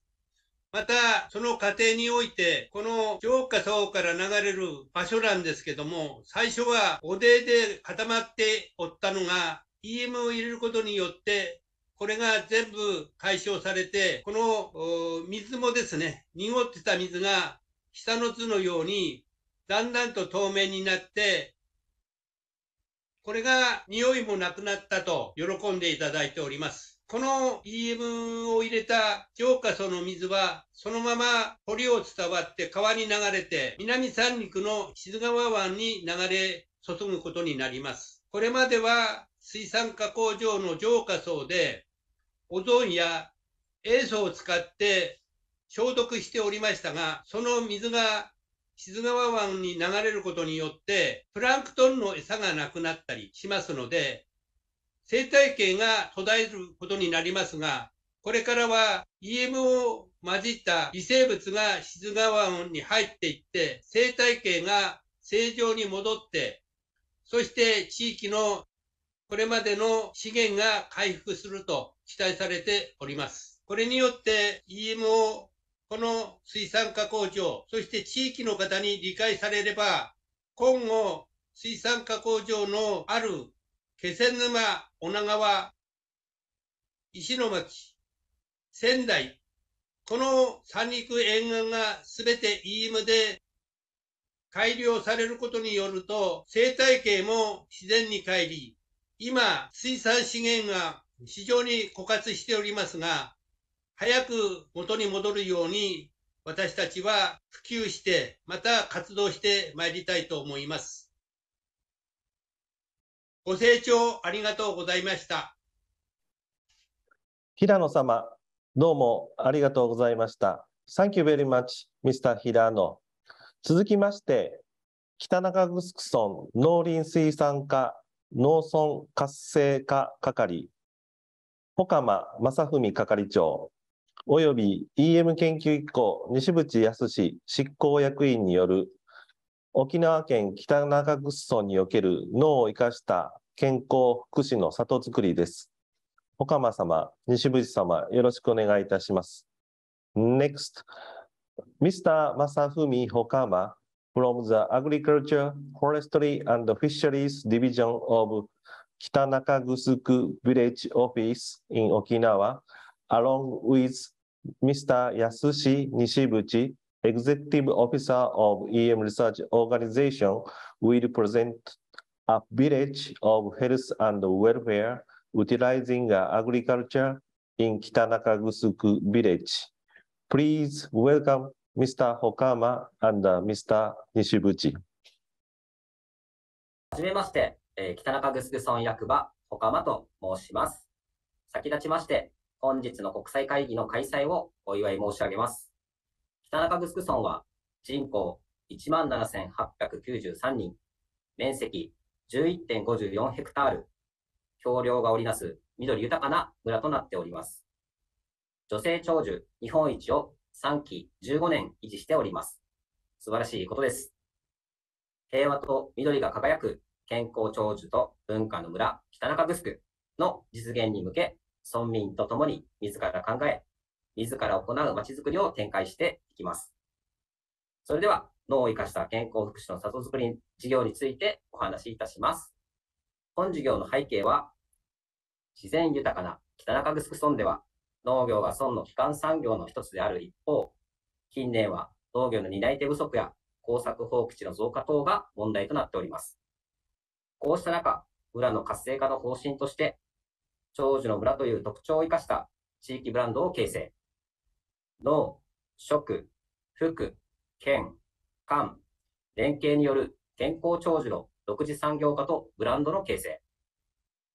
これらにより、生きがい、雇用の創出、健康の秘訣である、長寿の秘訣である食、脳を活用した観光の推進などの取り組みを進めてまいります。事業目的として、北中城未来づくり、村民自らが中心となり、賑わいのある地域社会と活力に満ちた産業、農業、観光を持続します。地域の雇用を生み出しながら、人、物、食、農、エネルギーの地産地消を強力に進め、何が起きても負けない農と銃の調和のある安全で安心した暮らしのできる村を実現します。輝ける北中城の未来を支えるエネルギーインフラを村全体で作ります。整備方針として、農住、農福、食農、農官、連携による健康福祉の里づくり。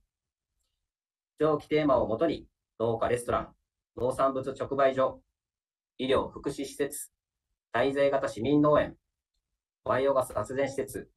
有料田園住宅などを展開します。各施設が連携して脳を生かした健康福祉の里を展開し、持続可能な北中城の未来へとつながる取り組みを行います。整備対象地として、中城公園に隣接し、集客が見込めることや、今後、防災的機能を向上させていくことが望まれることらにより、小木戸、大城地区を整備対象地としております。小木戸、大城を整備対象地として、整備内容ごとに土地をゾーニングして検討してまいります。整備概要として、第1段階から第6段階まであります。第1段階は、植物工場、園芸ハウス、農園や再生可能エネルギー施設の整備をパッケージで実施します。発電した電力、熱エネルギーは、植物工場、園芸ハウスでの農産物生産及び災害時などにおける非常時電源、熱源として活用します。整備実施事業者は、北中城村内に本社を置く株式会社 EM 研究機構となります。第2段階整備。体験、観光型農園、農産物直売所、農家レストラン、四季のお花畑等を実施いたします。県営中城公園に隣接する土地に、土地で整備を実施し、農産物直売所、農家レストランへのより多くの集客を図ります。第一段階で生産した農産物を活用した事業内容であるため、第二段階の整備事業者は EM 研究機構となります。第3段階整備。移植同源の核となる医療・福祉施設の整備を実施します。バイオガス発電施設からの非常時電源供給を受けるため、第1段階整備区域に隣接した土地に整備を行います。高齢者の健康づくり農園、介護を目的としたリハビリ農園なども検討します。事業主体は地元の特定医療法人が担うことを想定しております。第4段階整備。市民農園、福祉農園、滞在型農園及び自己活用農園の整備を実施します。第3段階整備における医療・福祉施設の患者の皆様が滞在しながら通院、リハビリができる整備を行います。地元の農地所有適格法人による整備を想定しております。第5段階整備、グリーンツーリズム施設として、滞在型リゾート体験施設、グランピング等を導入する構想をしております。地元の農地所有適格法人による整備を想定しております。第6段階整備、有料田園住宅制度を活用した戸建て住宅の建設を行います。本事業を進める中心企業とハウスメーカー事業者との連携による取り組みを想定しております。これまでお話ししてきましたが、皆さんいかがだったでしょうか？地域再生可能エネルギー、健康長寿、ワクワクしませんか？この脳を生かした健康福祉の里づくりに人が集まることが想像できるのではないでしょうか？人と土とは離れられません。土と接して人は心が豊かになり、人が集まり、共助のまちづくり街づくりができると我々は信じています。行政だけではなく、事業者だけでも、地域だけでも成り立ちません。行政と地域、事業者がお互いに手を取り合って、地域の価値を高めてまいりましょう。本日は以上になります。ご清聴ありがとうございました。はい、皆さんおはようございます。EM 研究機構の西渕と申します。私からは北中城村の脳を生かした健康福祉の里づくりの第1段階、第2段階整備事業者として、現在株式会社 EM 研究機構が計画している内容についてご紹介させていただきます。はじめにプロジェクトの予定地と北中城村の地域の様子を上空から撮影した写真からご紹介いたします。画面の下側がこちら側ですね。県営の中城公園という大きい公園があるところです。プロジェクトの予定地は、その公園の前のこの辺り一角になっております。赤枠で囲んでいるところが第一段階整備事業。それからこちら側が第二段階整備事業の予定地となっております。この写真ですと遠くの方に EM のホテル、EM ウェルネス暮らしの発酵ライフスタイルリゾートがこのように見えるという位置関係です。こちらがあの高速道路になっております。プロジェクトの予定地、村内でこういう場所に予定されております。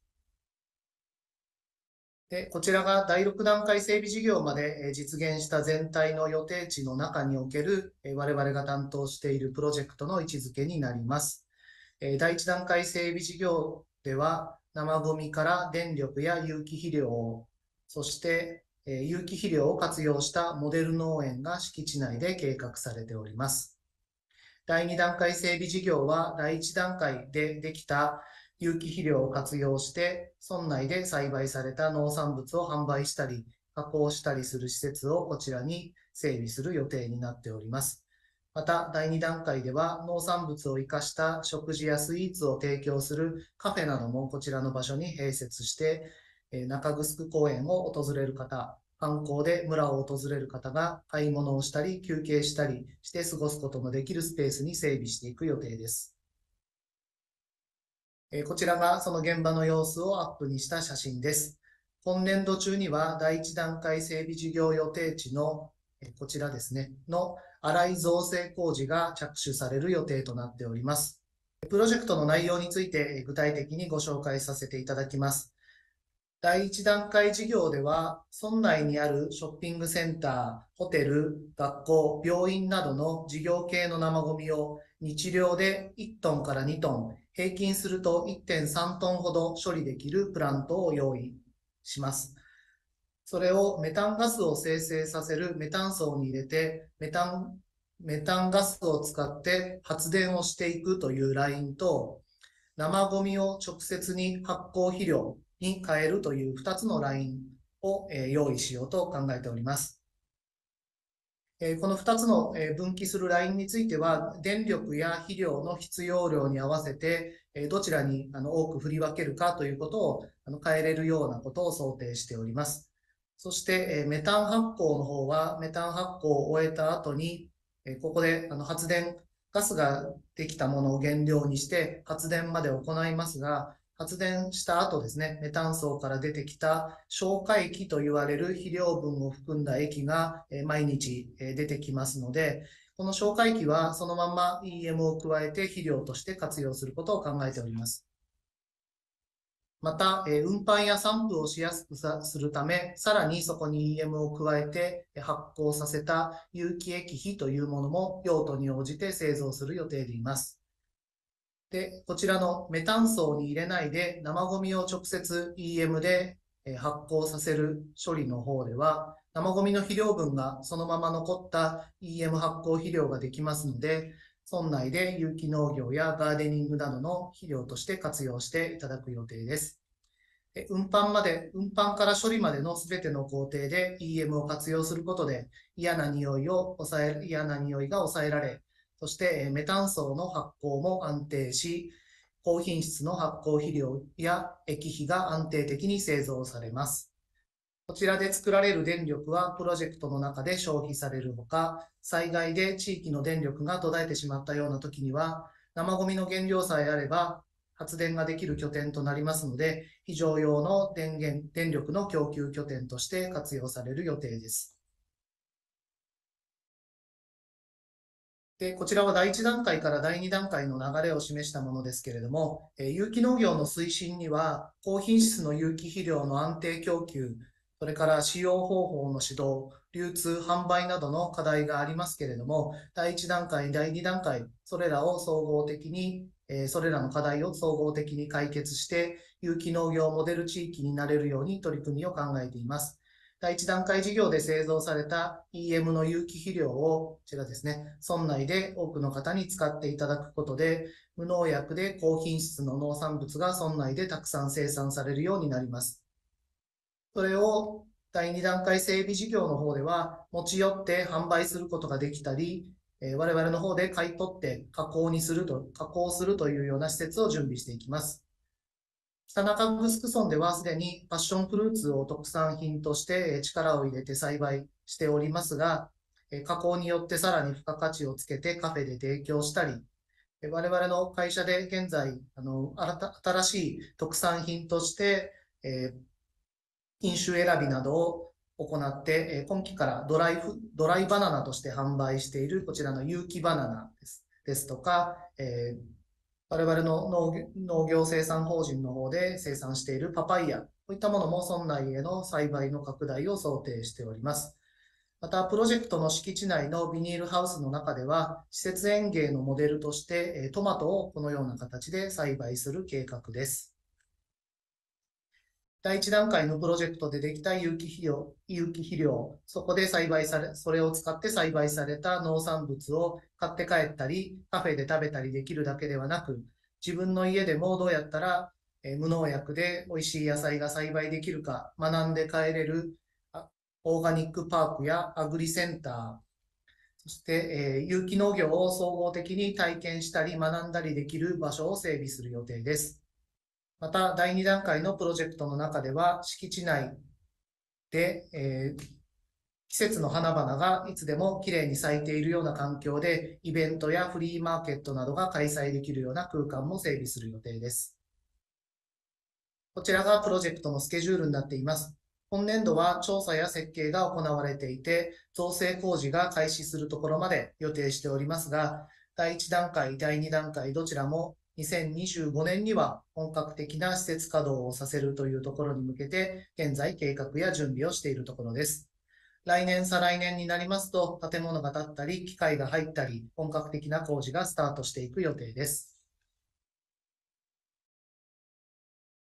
現在、第1段階から第6段階まである村の計画のうち、1、2段階の事業者に選んでいただいて準備をしておりますが、それが実現いたしますと、今は村の外に運ばれて処理されている生ゴミが EM が使用されることによって村内で良質の有機肥料に変わります。良質の有機肥料の安定供給、見て学べる展示補助、気軽に出荷できる直売所や加工所の整備によって、高齢者でも障害者でも有機肥料に簡単に取り組める環境が整い、村の農業振興、健康増進、環境保全に貢献できると考えています。そして生ゴミを原料にした発電拠点が整備されることで、災害時には有機肥料も原料にして、いざとなれば電気を作ることができますので、バッテリーさえ仕組みとして用意しておけば、避難場所への電力供給などをすることが可能になります。そういった取り組みを通して農業生産に関わる人も地元の農産物を食べる人も健康になり、オーガニック、SDGs、ウェルネスといった観点から村のブランド力が高まり、県外、国外から多くの視察や観光の一つの目的として訪問者や移住者が増えてくるという形で村に貢献できたらと考えております。EM 研究機構で担当する第1段階、第2段階で予定している内容は以上となります。え村の計画では6段階の住宅の整備というところまで想定がされていますので、EM 有機農業をベースに様々な社会的な課題を解決し、自然と調和したコミュニティのモデル作りを行政と連携しながら取り組んでいきたいと思っております。発表は以上になります。ありがとうございました。岡間様、西口様、どうもありがとうございました。Thank you very much, Mr. ホカマ and Mr. 西口。それでは時間になりましたので、比嘉教授による総括講演を始めたいと思います。本講演は逐次の英語通訳が入ります。伊賀教授、よろしくお願いいたします。Will it's time now to start with the closing lecture of Professor Higa. English translation will be provided for this lecture. Please welcome Professor Higa. あ皆様、はい、こんにちは。たくさんの参加者がいろいろ申し込んでいただいて、この会議がスタートしたことをまず感謝申し上げます。First of all, I would like to thank everybody who uh, participated in this meeting and people who attended this meeting. Thank you very much. えー、この会議は、あ正木先生とのあ正木先生が提案されたユニバーサルビリティの精神をあ EM で解決する、あるいは実現するというあ私と正木先生との約束があったわけです。So the main purpose of this international conference is to realize the goals of International Conference on University Village using EM technology, which was organized by Dr. Masaki, professor at MIT. And I had a promise with uh, Dr. Masaki. で、まあ、残念なことに、正木先生はあコロナで えー、去年亡くなられたですね、あおととしです、亡くなられた。それで、えー、まあ私、我々としては、やっぱりユニバーサルビリッジを作るという約束をしましたので、あのぜひこれを実現していきたい。で、そのためにはやっぱり、あ正木先生が提案された国際ユニバユニバーサルビリッジの国際会議と EM 技術の国際会議が一緒になってですね、これを推進していく組織を作っていこうと。とりあえずはそういうことをスタートさせようということで、えー、今回の会議を開催することになりました。Unfortunately, uh, Dr. Masaki uh, passed uh, over two years ago with uh, COVID-19. And uh, because I promised with him to make a universal village, and uh, he proposed to have a universal village international meeting together with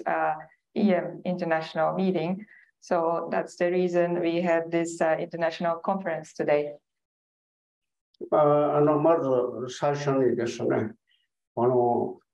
正木先生とずっと一緒にこの運動を推進してこられた奥様、正木先生の奥さんからですね、えー、この、えー、国際会議に対してのあの賛同のメッセージをいただきました。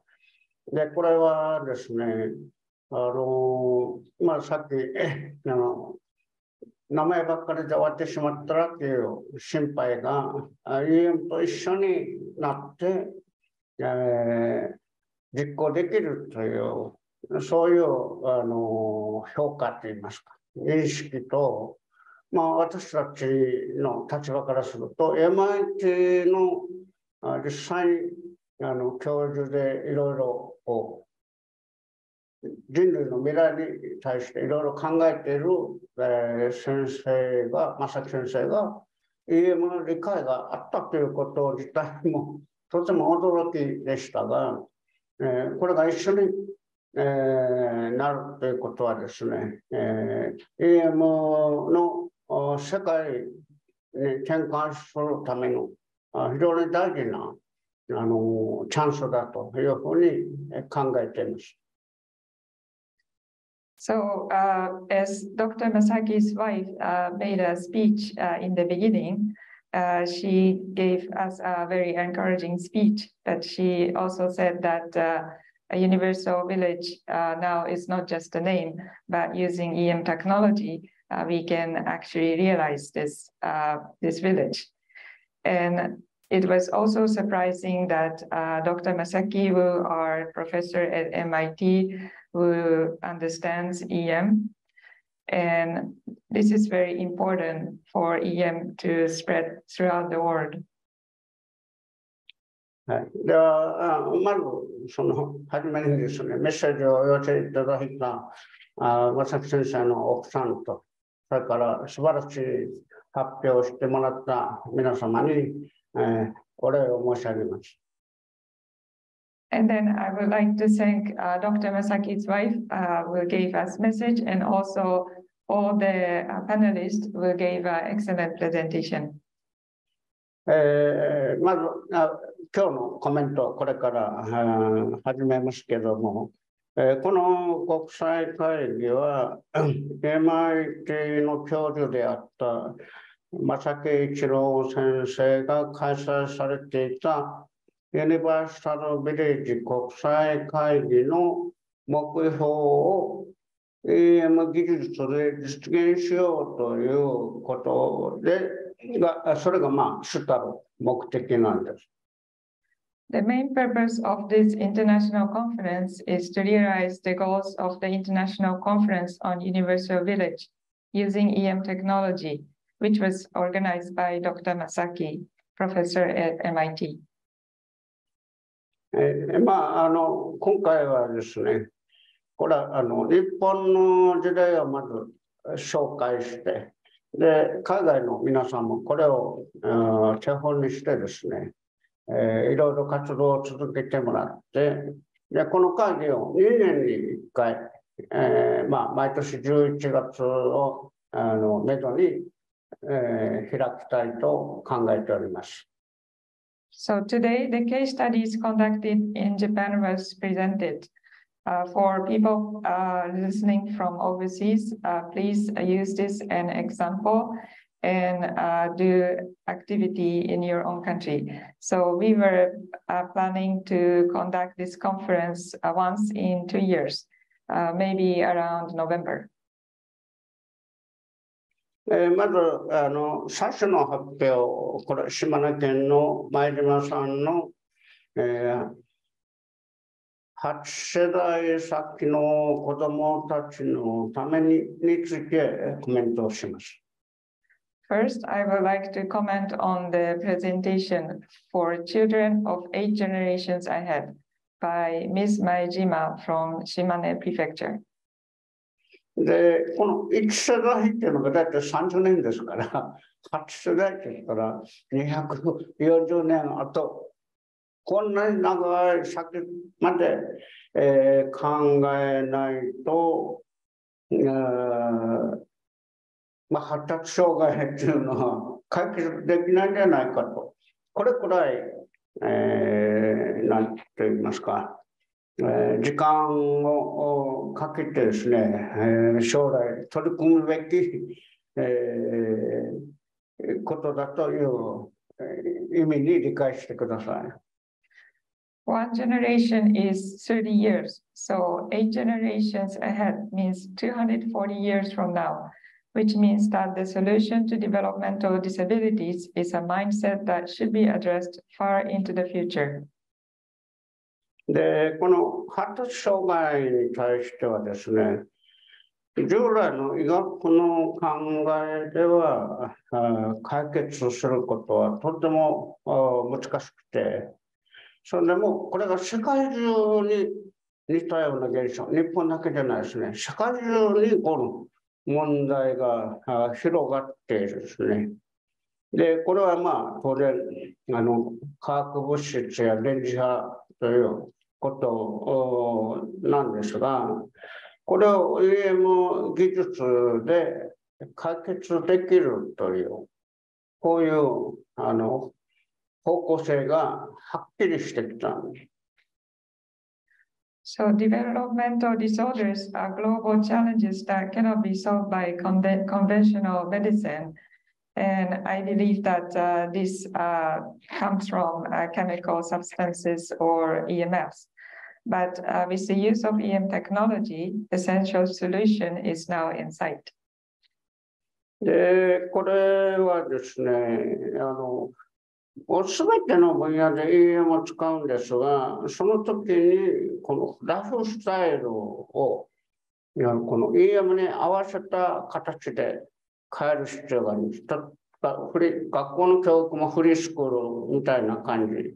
それから生きていくためには、やっぱり作物を栽培したり、環境のことをよく、あるいは自分の健康のことを知らなきゃいけないんですが、こういうなことも全部教育の中に入れないといけないんですね。ですけど、今の教育ではそういうことが受け入れることは無理なんで。ですけど、前島さんのところは、それを全部実行して今日の発表のような成果を出している。So this issue requires diverse changes in lifestyle. Uh, basically, you have to use uh, EM uh, in every aspect of your lifestyle, as well as in the education system, such as free schools and social participation that foster the ability to live. で、その次、この発達障害もそうなんですけど、前島さんの大事なプロジェクトは、このあのプロジェクトを進めながら、今、まあ、日本、あるいは世界中でこう、えー、過疎化した、えー、高齢化して活性化を失った地域の高齢者の解決、あるいはこの過疎した地域をあの、なんて言ったらですかね、理想郷的に作り上げるという、こういう大事なあ仕事も一緒に進められているということです。Miss Maijima project is also linked to various social contribution projects, such as uh, revitalization of depopulated rural village, or also a problem of uh, aging. So her project uh, is uh, solving uh, various problems at the same time. で次は第2番目の発表の農村都市の作り、ぐるぐるエコ町づくりの北海道の石川さんの発表です。 Next, the second topic, an eco-friendly town development by recycling food waste in Hokkaido was presented by Mr. Ishikawa from Hokkaido. これは16年前に三笠市の生ゴミのリサイクルですね。これからあスタートしてあ今もこのプロジェクトがですねいろんな有機農業、先発表あったり、いろんなところに、えー、広がっていて、で、うまくきちっとやった事例を見ると、もう、あ、これでいけば、すべてうまくいけるっていう、完成度がすごく高い。要するに、社会にちゃんと必要な状況にまでですね、技術のレベルが上がってきているということをまず理解してほしい。This project, uh, which started 16 years ago in Misaka City, has achieved excellent results and made a significant contribution to solving the fundamental problem of food in the universal village, as described in the presentation. で、この発表の中で、あの、まあ、国内はいいですけど、海外の皆さんで、この EM 清流結界農法という、この EM 技術の新しい分野ですね、量子エネルギーの利用法が紹介されています。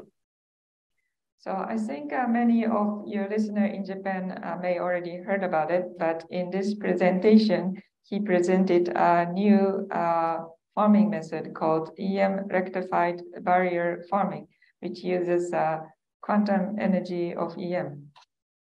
えー、この技術はですね、人間の思いとか、それから環境中のいろんなこの量子的、まだ使えないけど、その潜在的な大きなエネルギーが環境中にあるんですが、これをそのエネルギー化するための技術でですね、今、EM 技術の最先端の応用に入っていることなんです。これからあとはこの清流結界ということの応用はとても重要になります。So this is the cutting edge technology of EM. So basically our salts, uh, human salts, or the energy from the environment, like a subconscious energy of the environment, it will all um, it will all use this energy uh, in a technology.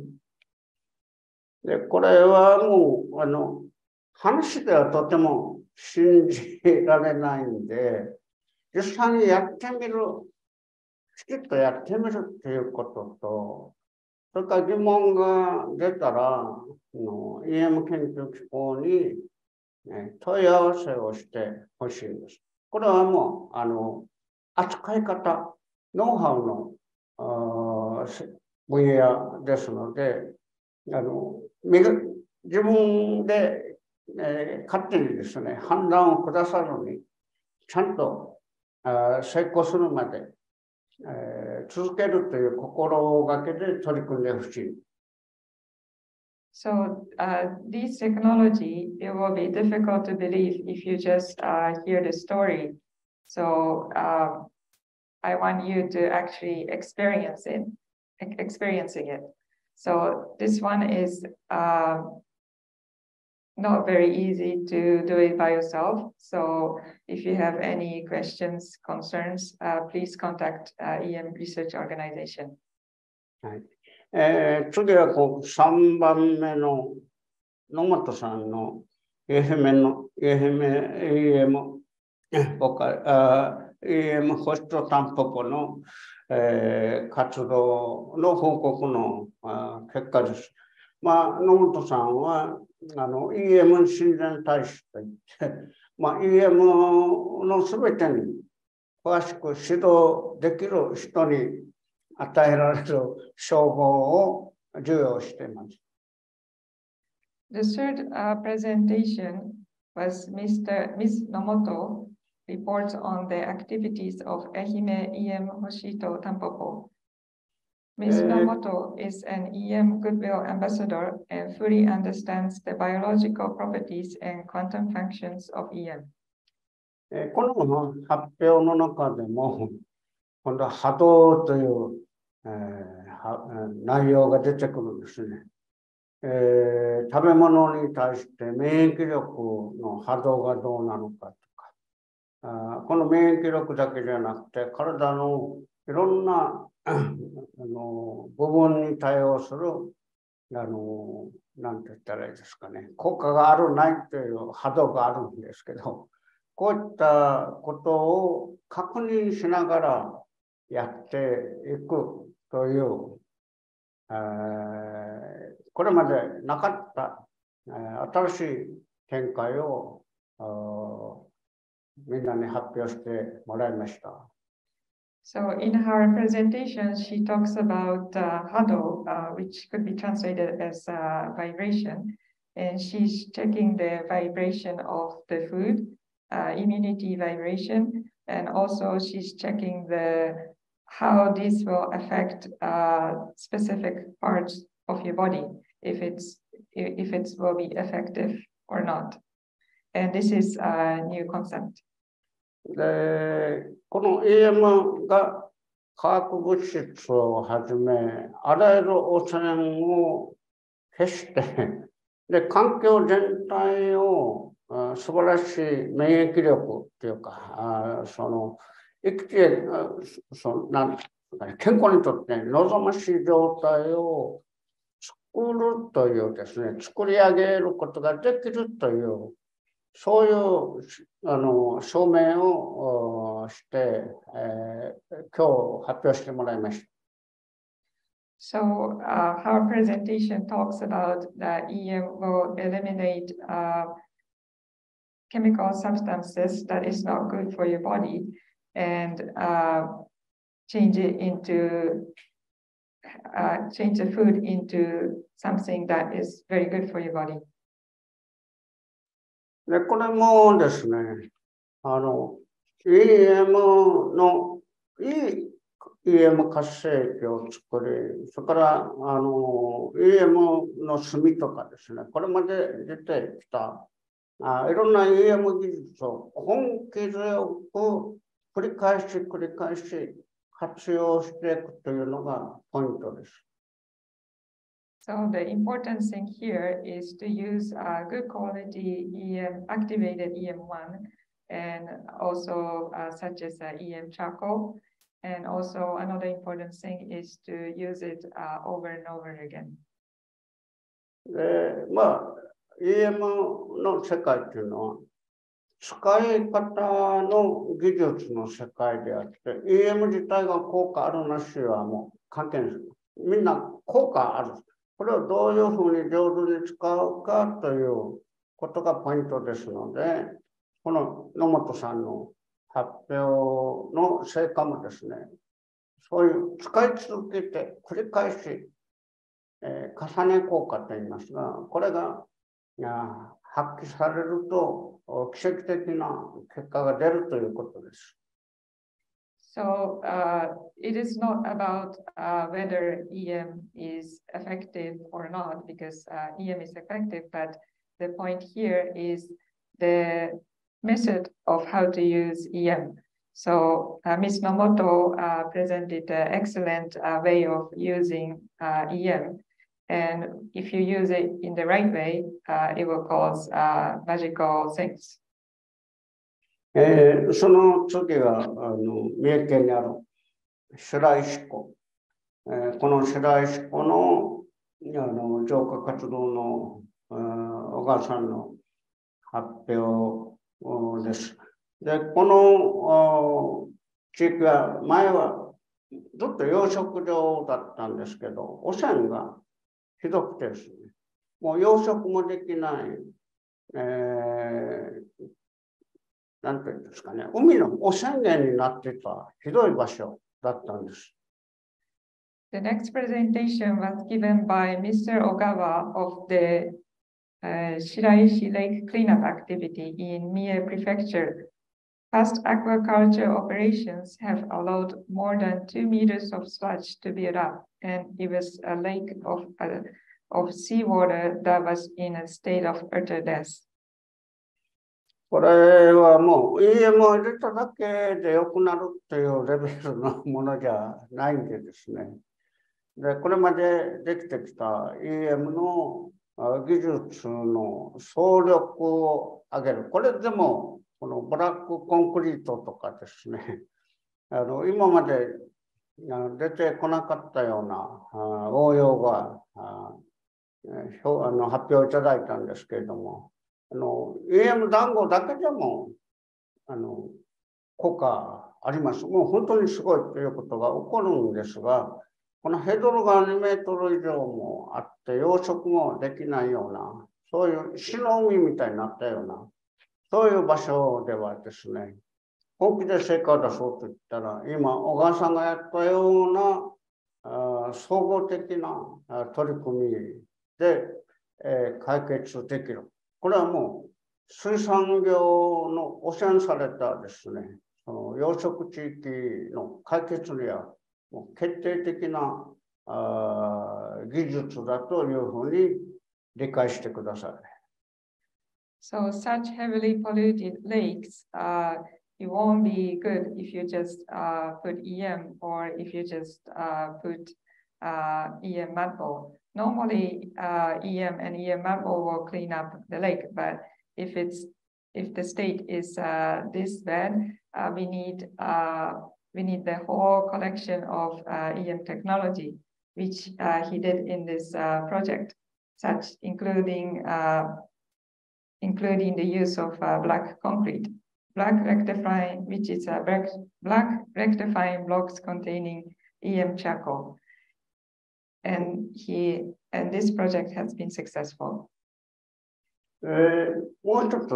あの大事なことはですね、購入した団子とか、このブラック、置かれているブラックコンクリートというのは、EM の波動源になってそこに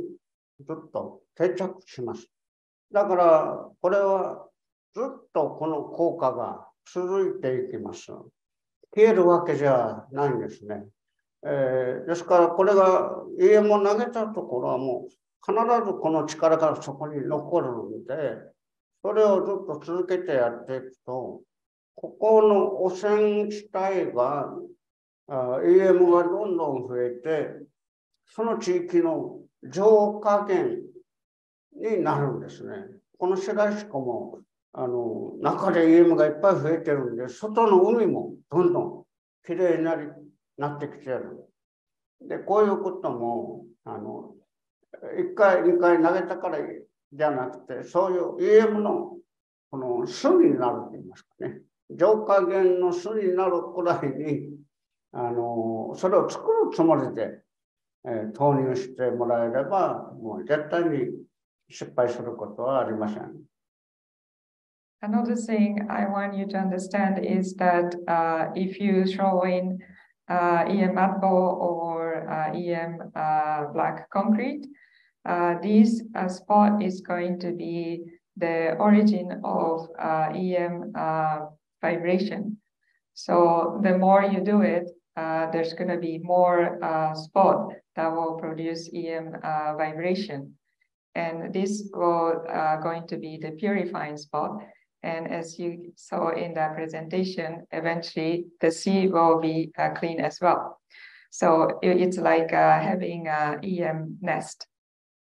えー、まあ、その次の、えー、水産加工場の廃棄物を活用した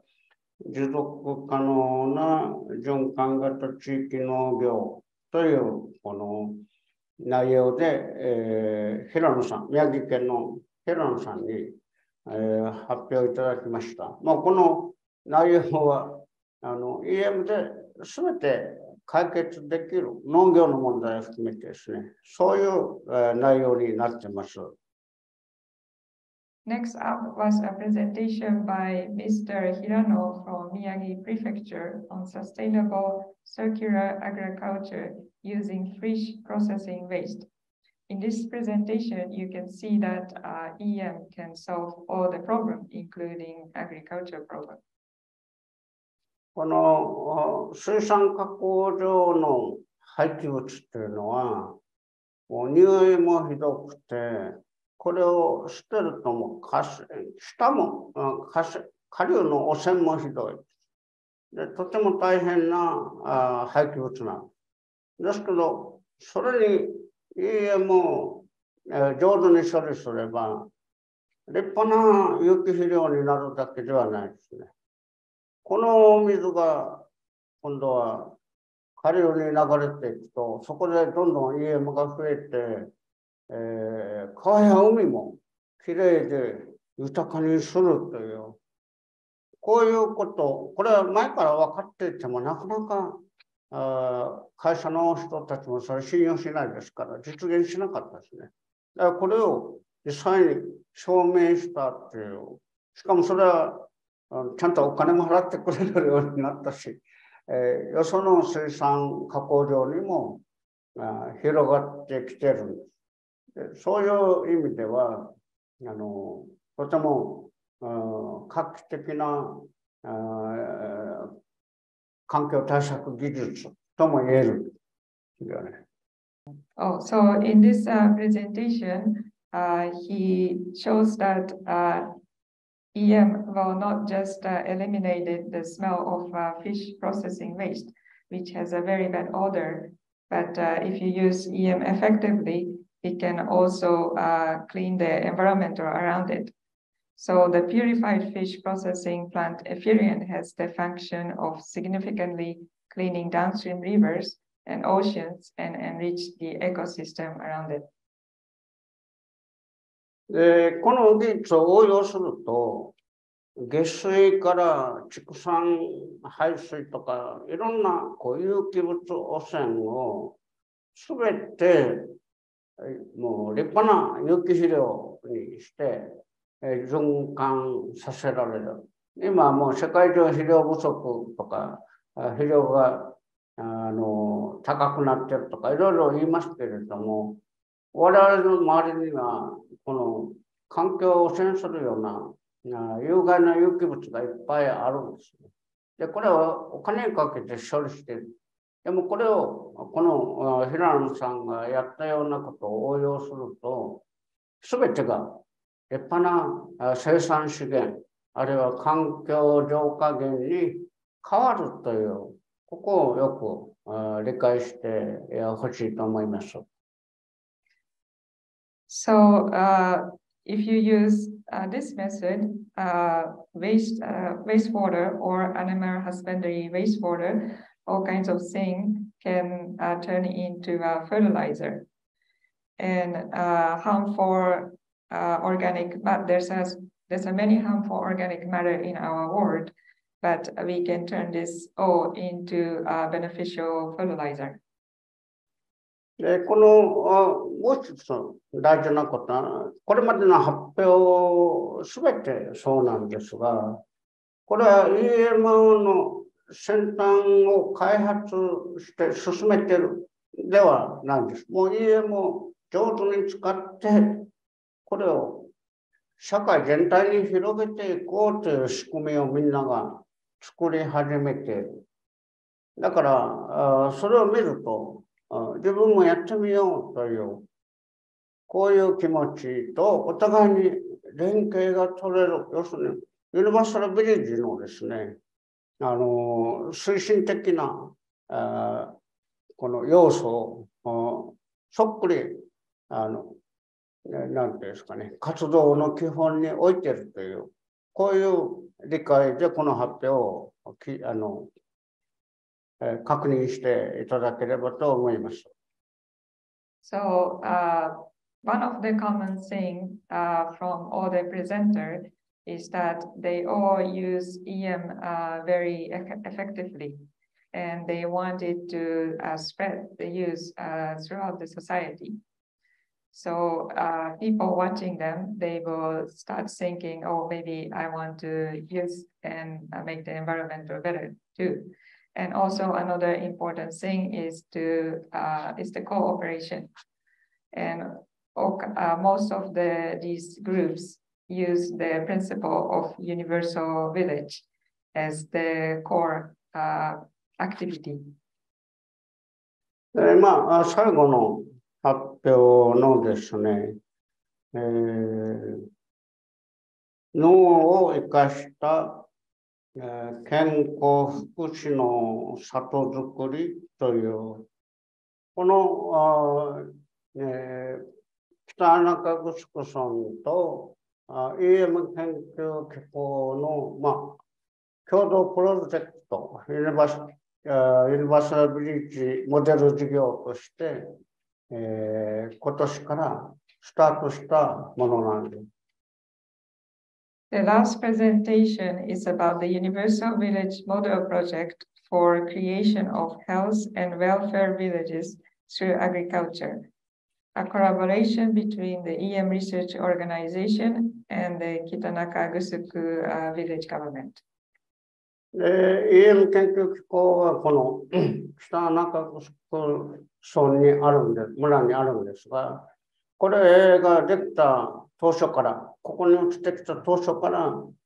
北中城村全体を有機農業の村に変えて、それで沖縄農業、あるいはあのだんだん高齢化して過疎になった地域の活性化事業としてですね、モデルをこの村全体に協力して進めていこうということで、えー役場と取り組んできました。So uh, EM Research Organization is located in uh, Kitanaka Gusku village. And since uh, our company uh, set, uh, set up here, we wanted to make the whole village uh, an organic uh, farming village. And uh, since the beginning, uh, we are talking with the uh, village to uh, cooperate uh, in this activity. で、この信頼関係がどんどん深まって、前の村長さん、もう今は国会議員ですが、この前のあ村長さんがあいろんな 協力、提案をしていただいて、それから今の村長さんもそれをよく理解して、で政府にもしっかり働きかけて、それで EM 研究機構と北中城が、まあ、共同してですね、今のあ未来に起こるいろんな社会問題を解決するプロジェクト、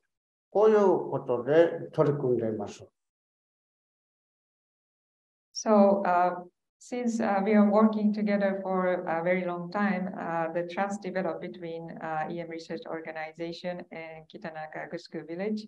Uh, the former village leader was also very cooperative and the current leader as well. And EM Research Organization and the Kitanaka Gusku Village together we would like to solve a social problem that could have could happen in the future. えまだスタートしたばっかりなんですが、まあ、あの、2年ごとに沖縄で EM、ユニバーサルビレッジ EM 国際会議をやりますので、まあ、あの、対面的にですね、ズームでなくて、そういう国際会議がでできるようになれば、あ世界中の皆さんが、あの、この、あー北中城と EM 研究機構のプロジェクトをですね、手本にして、あの、いろんな 問題解決策に、えーつなげてもらえればと思うんです。で、EM 研究機構はこのプロジェクトだけじゃなくて、村全体のリサイクルをする、有機物リサイクルやるのも、も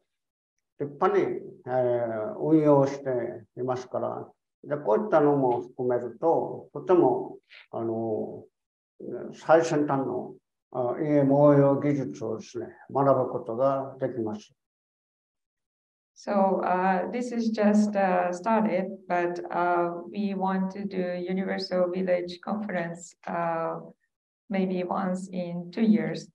And uh, maybe in the future, not just uh, by Zoom, but uh, people from all over the world can actually come to Kitanagagusku village and uh, make this project as an example for their own activities. So EM Research Organization is also uh, now recycling uh, all kinds of things in the village as well, using all the cutting edge uh, EM technology. So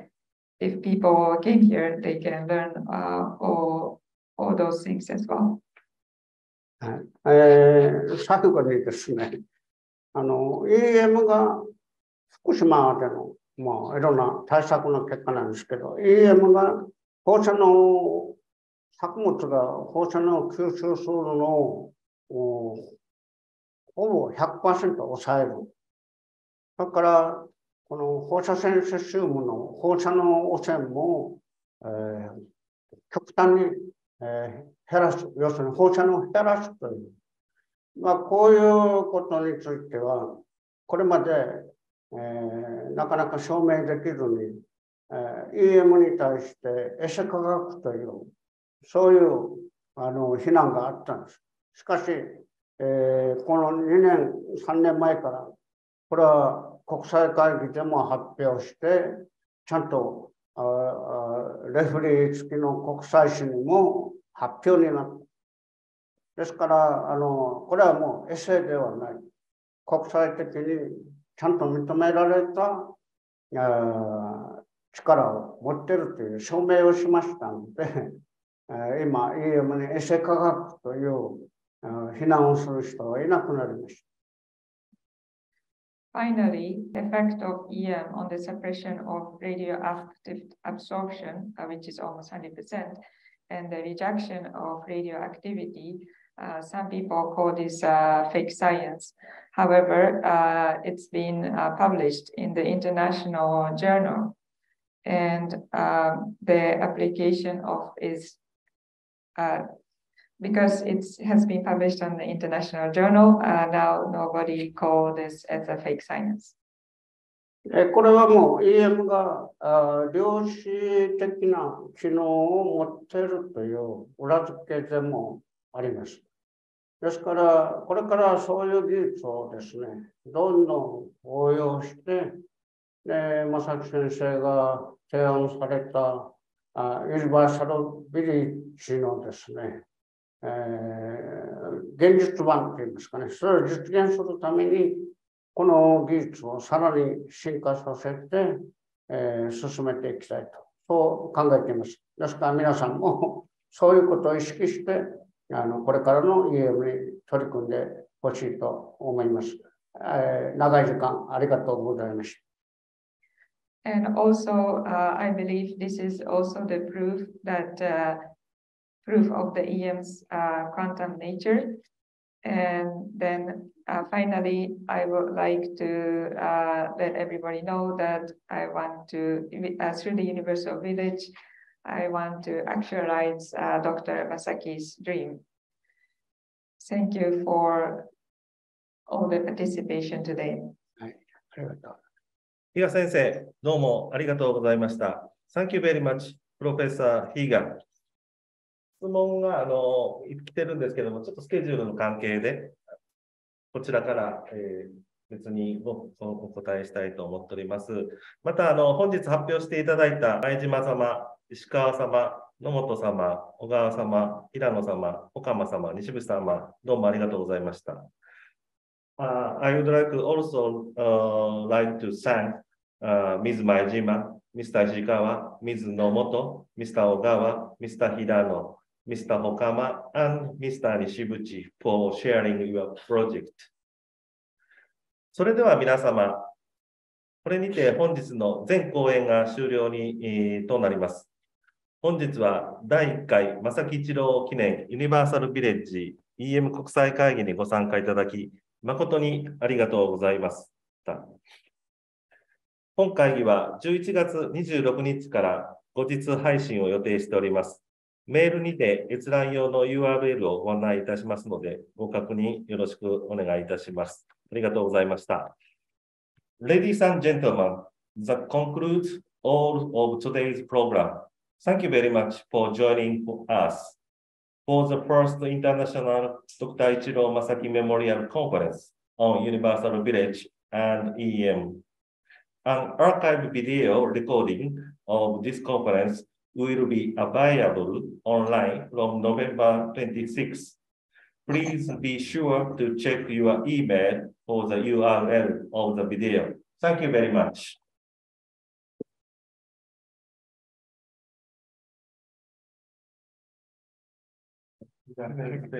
どうも、すいません。ありがとうございました。皆さん、さようなら。はい、ありがとうございました。Thank you very much.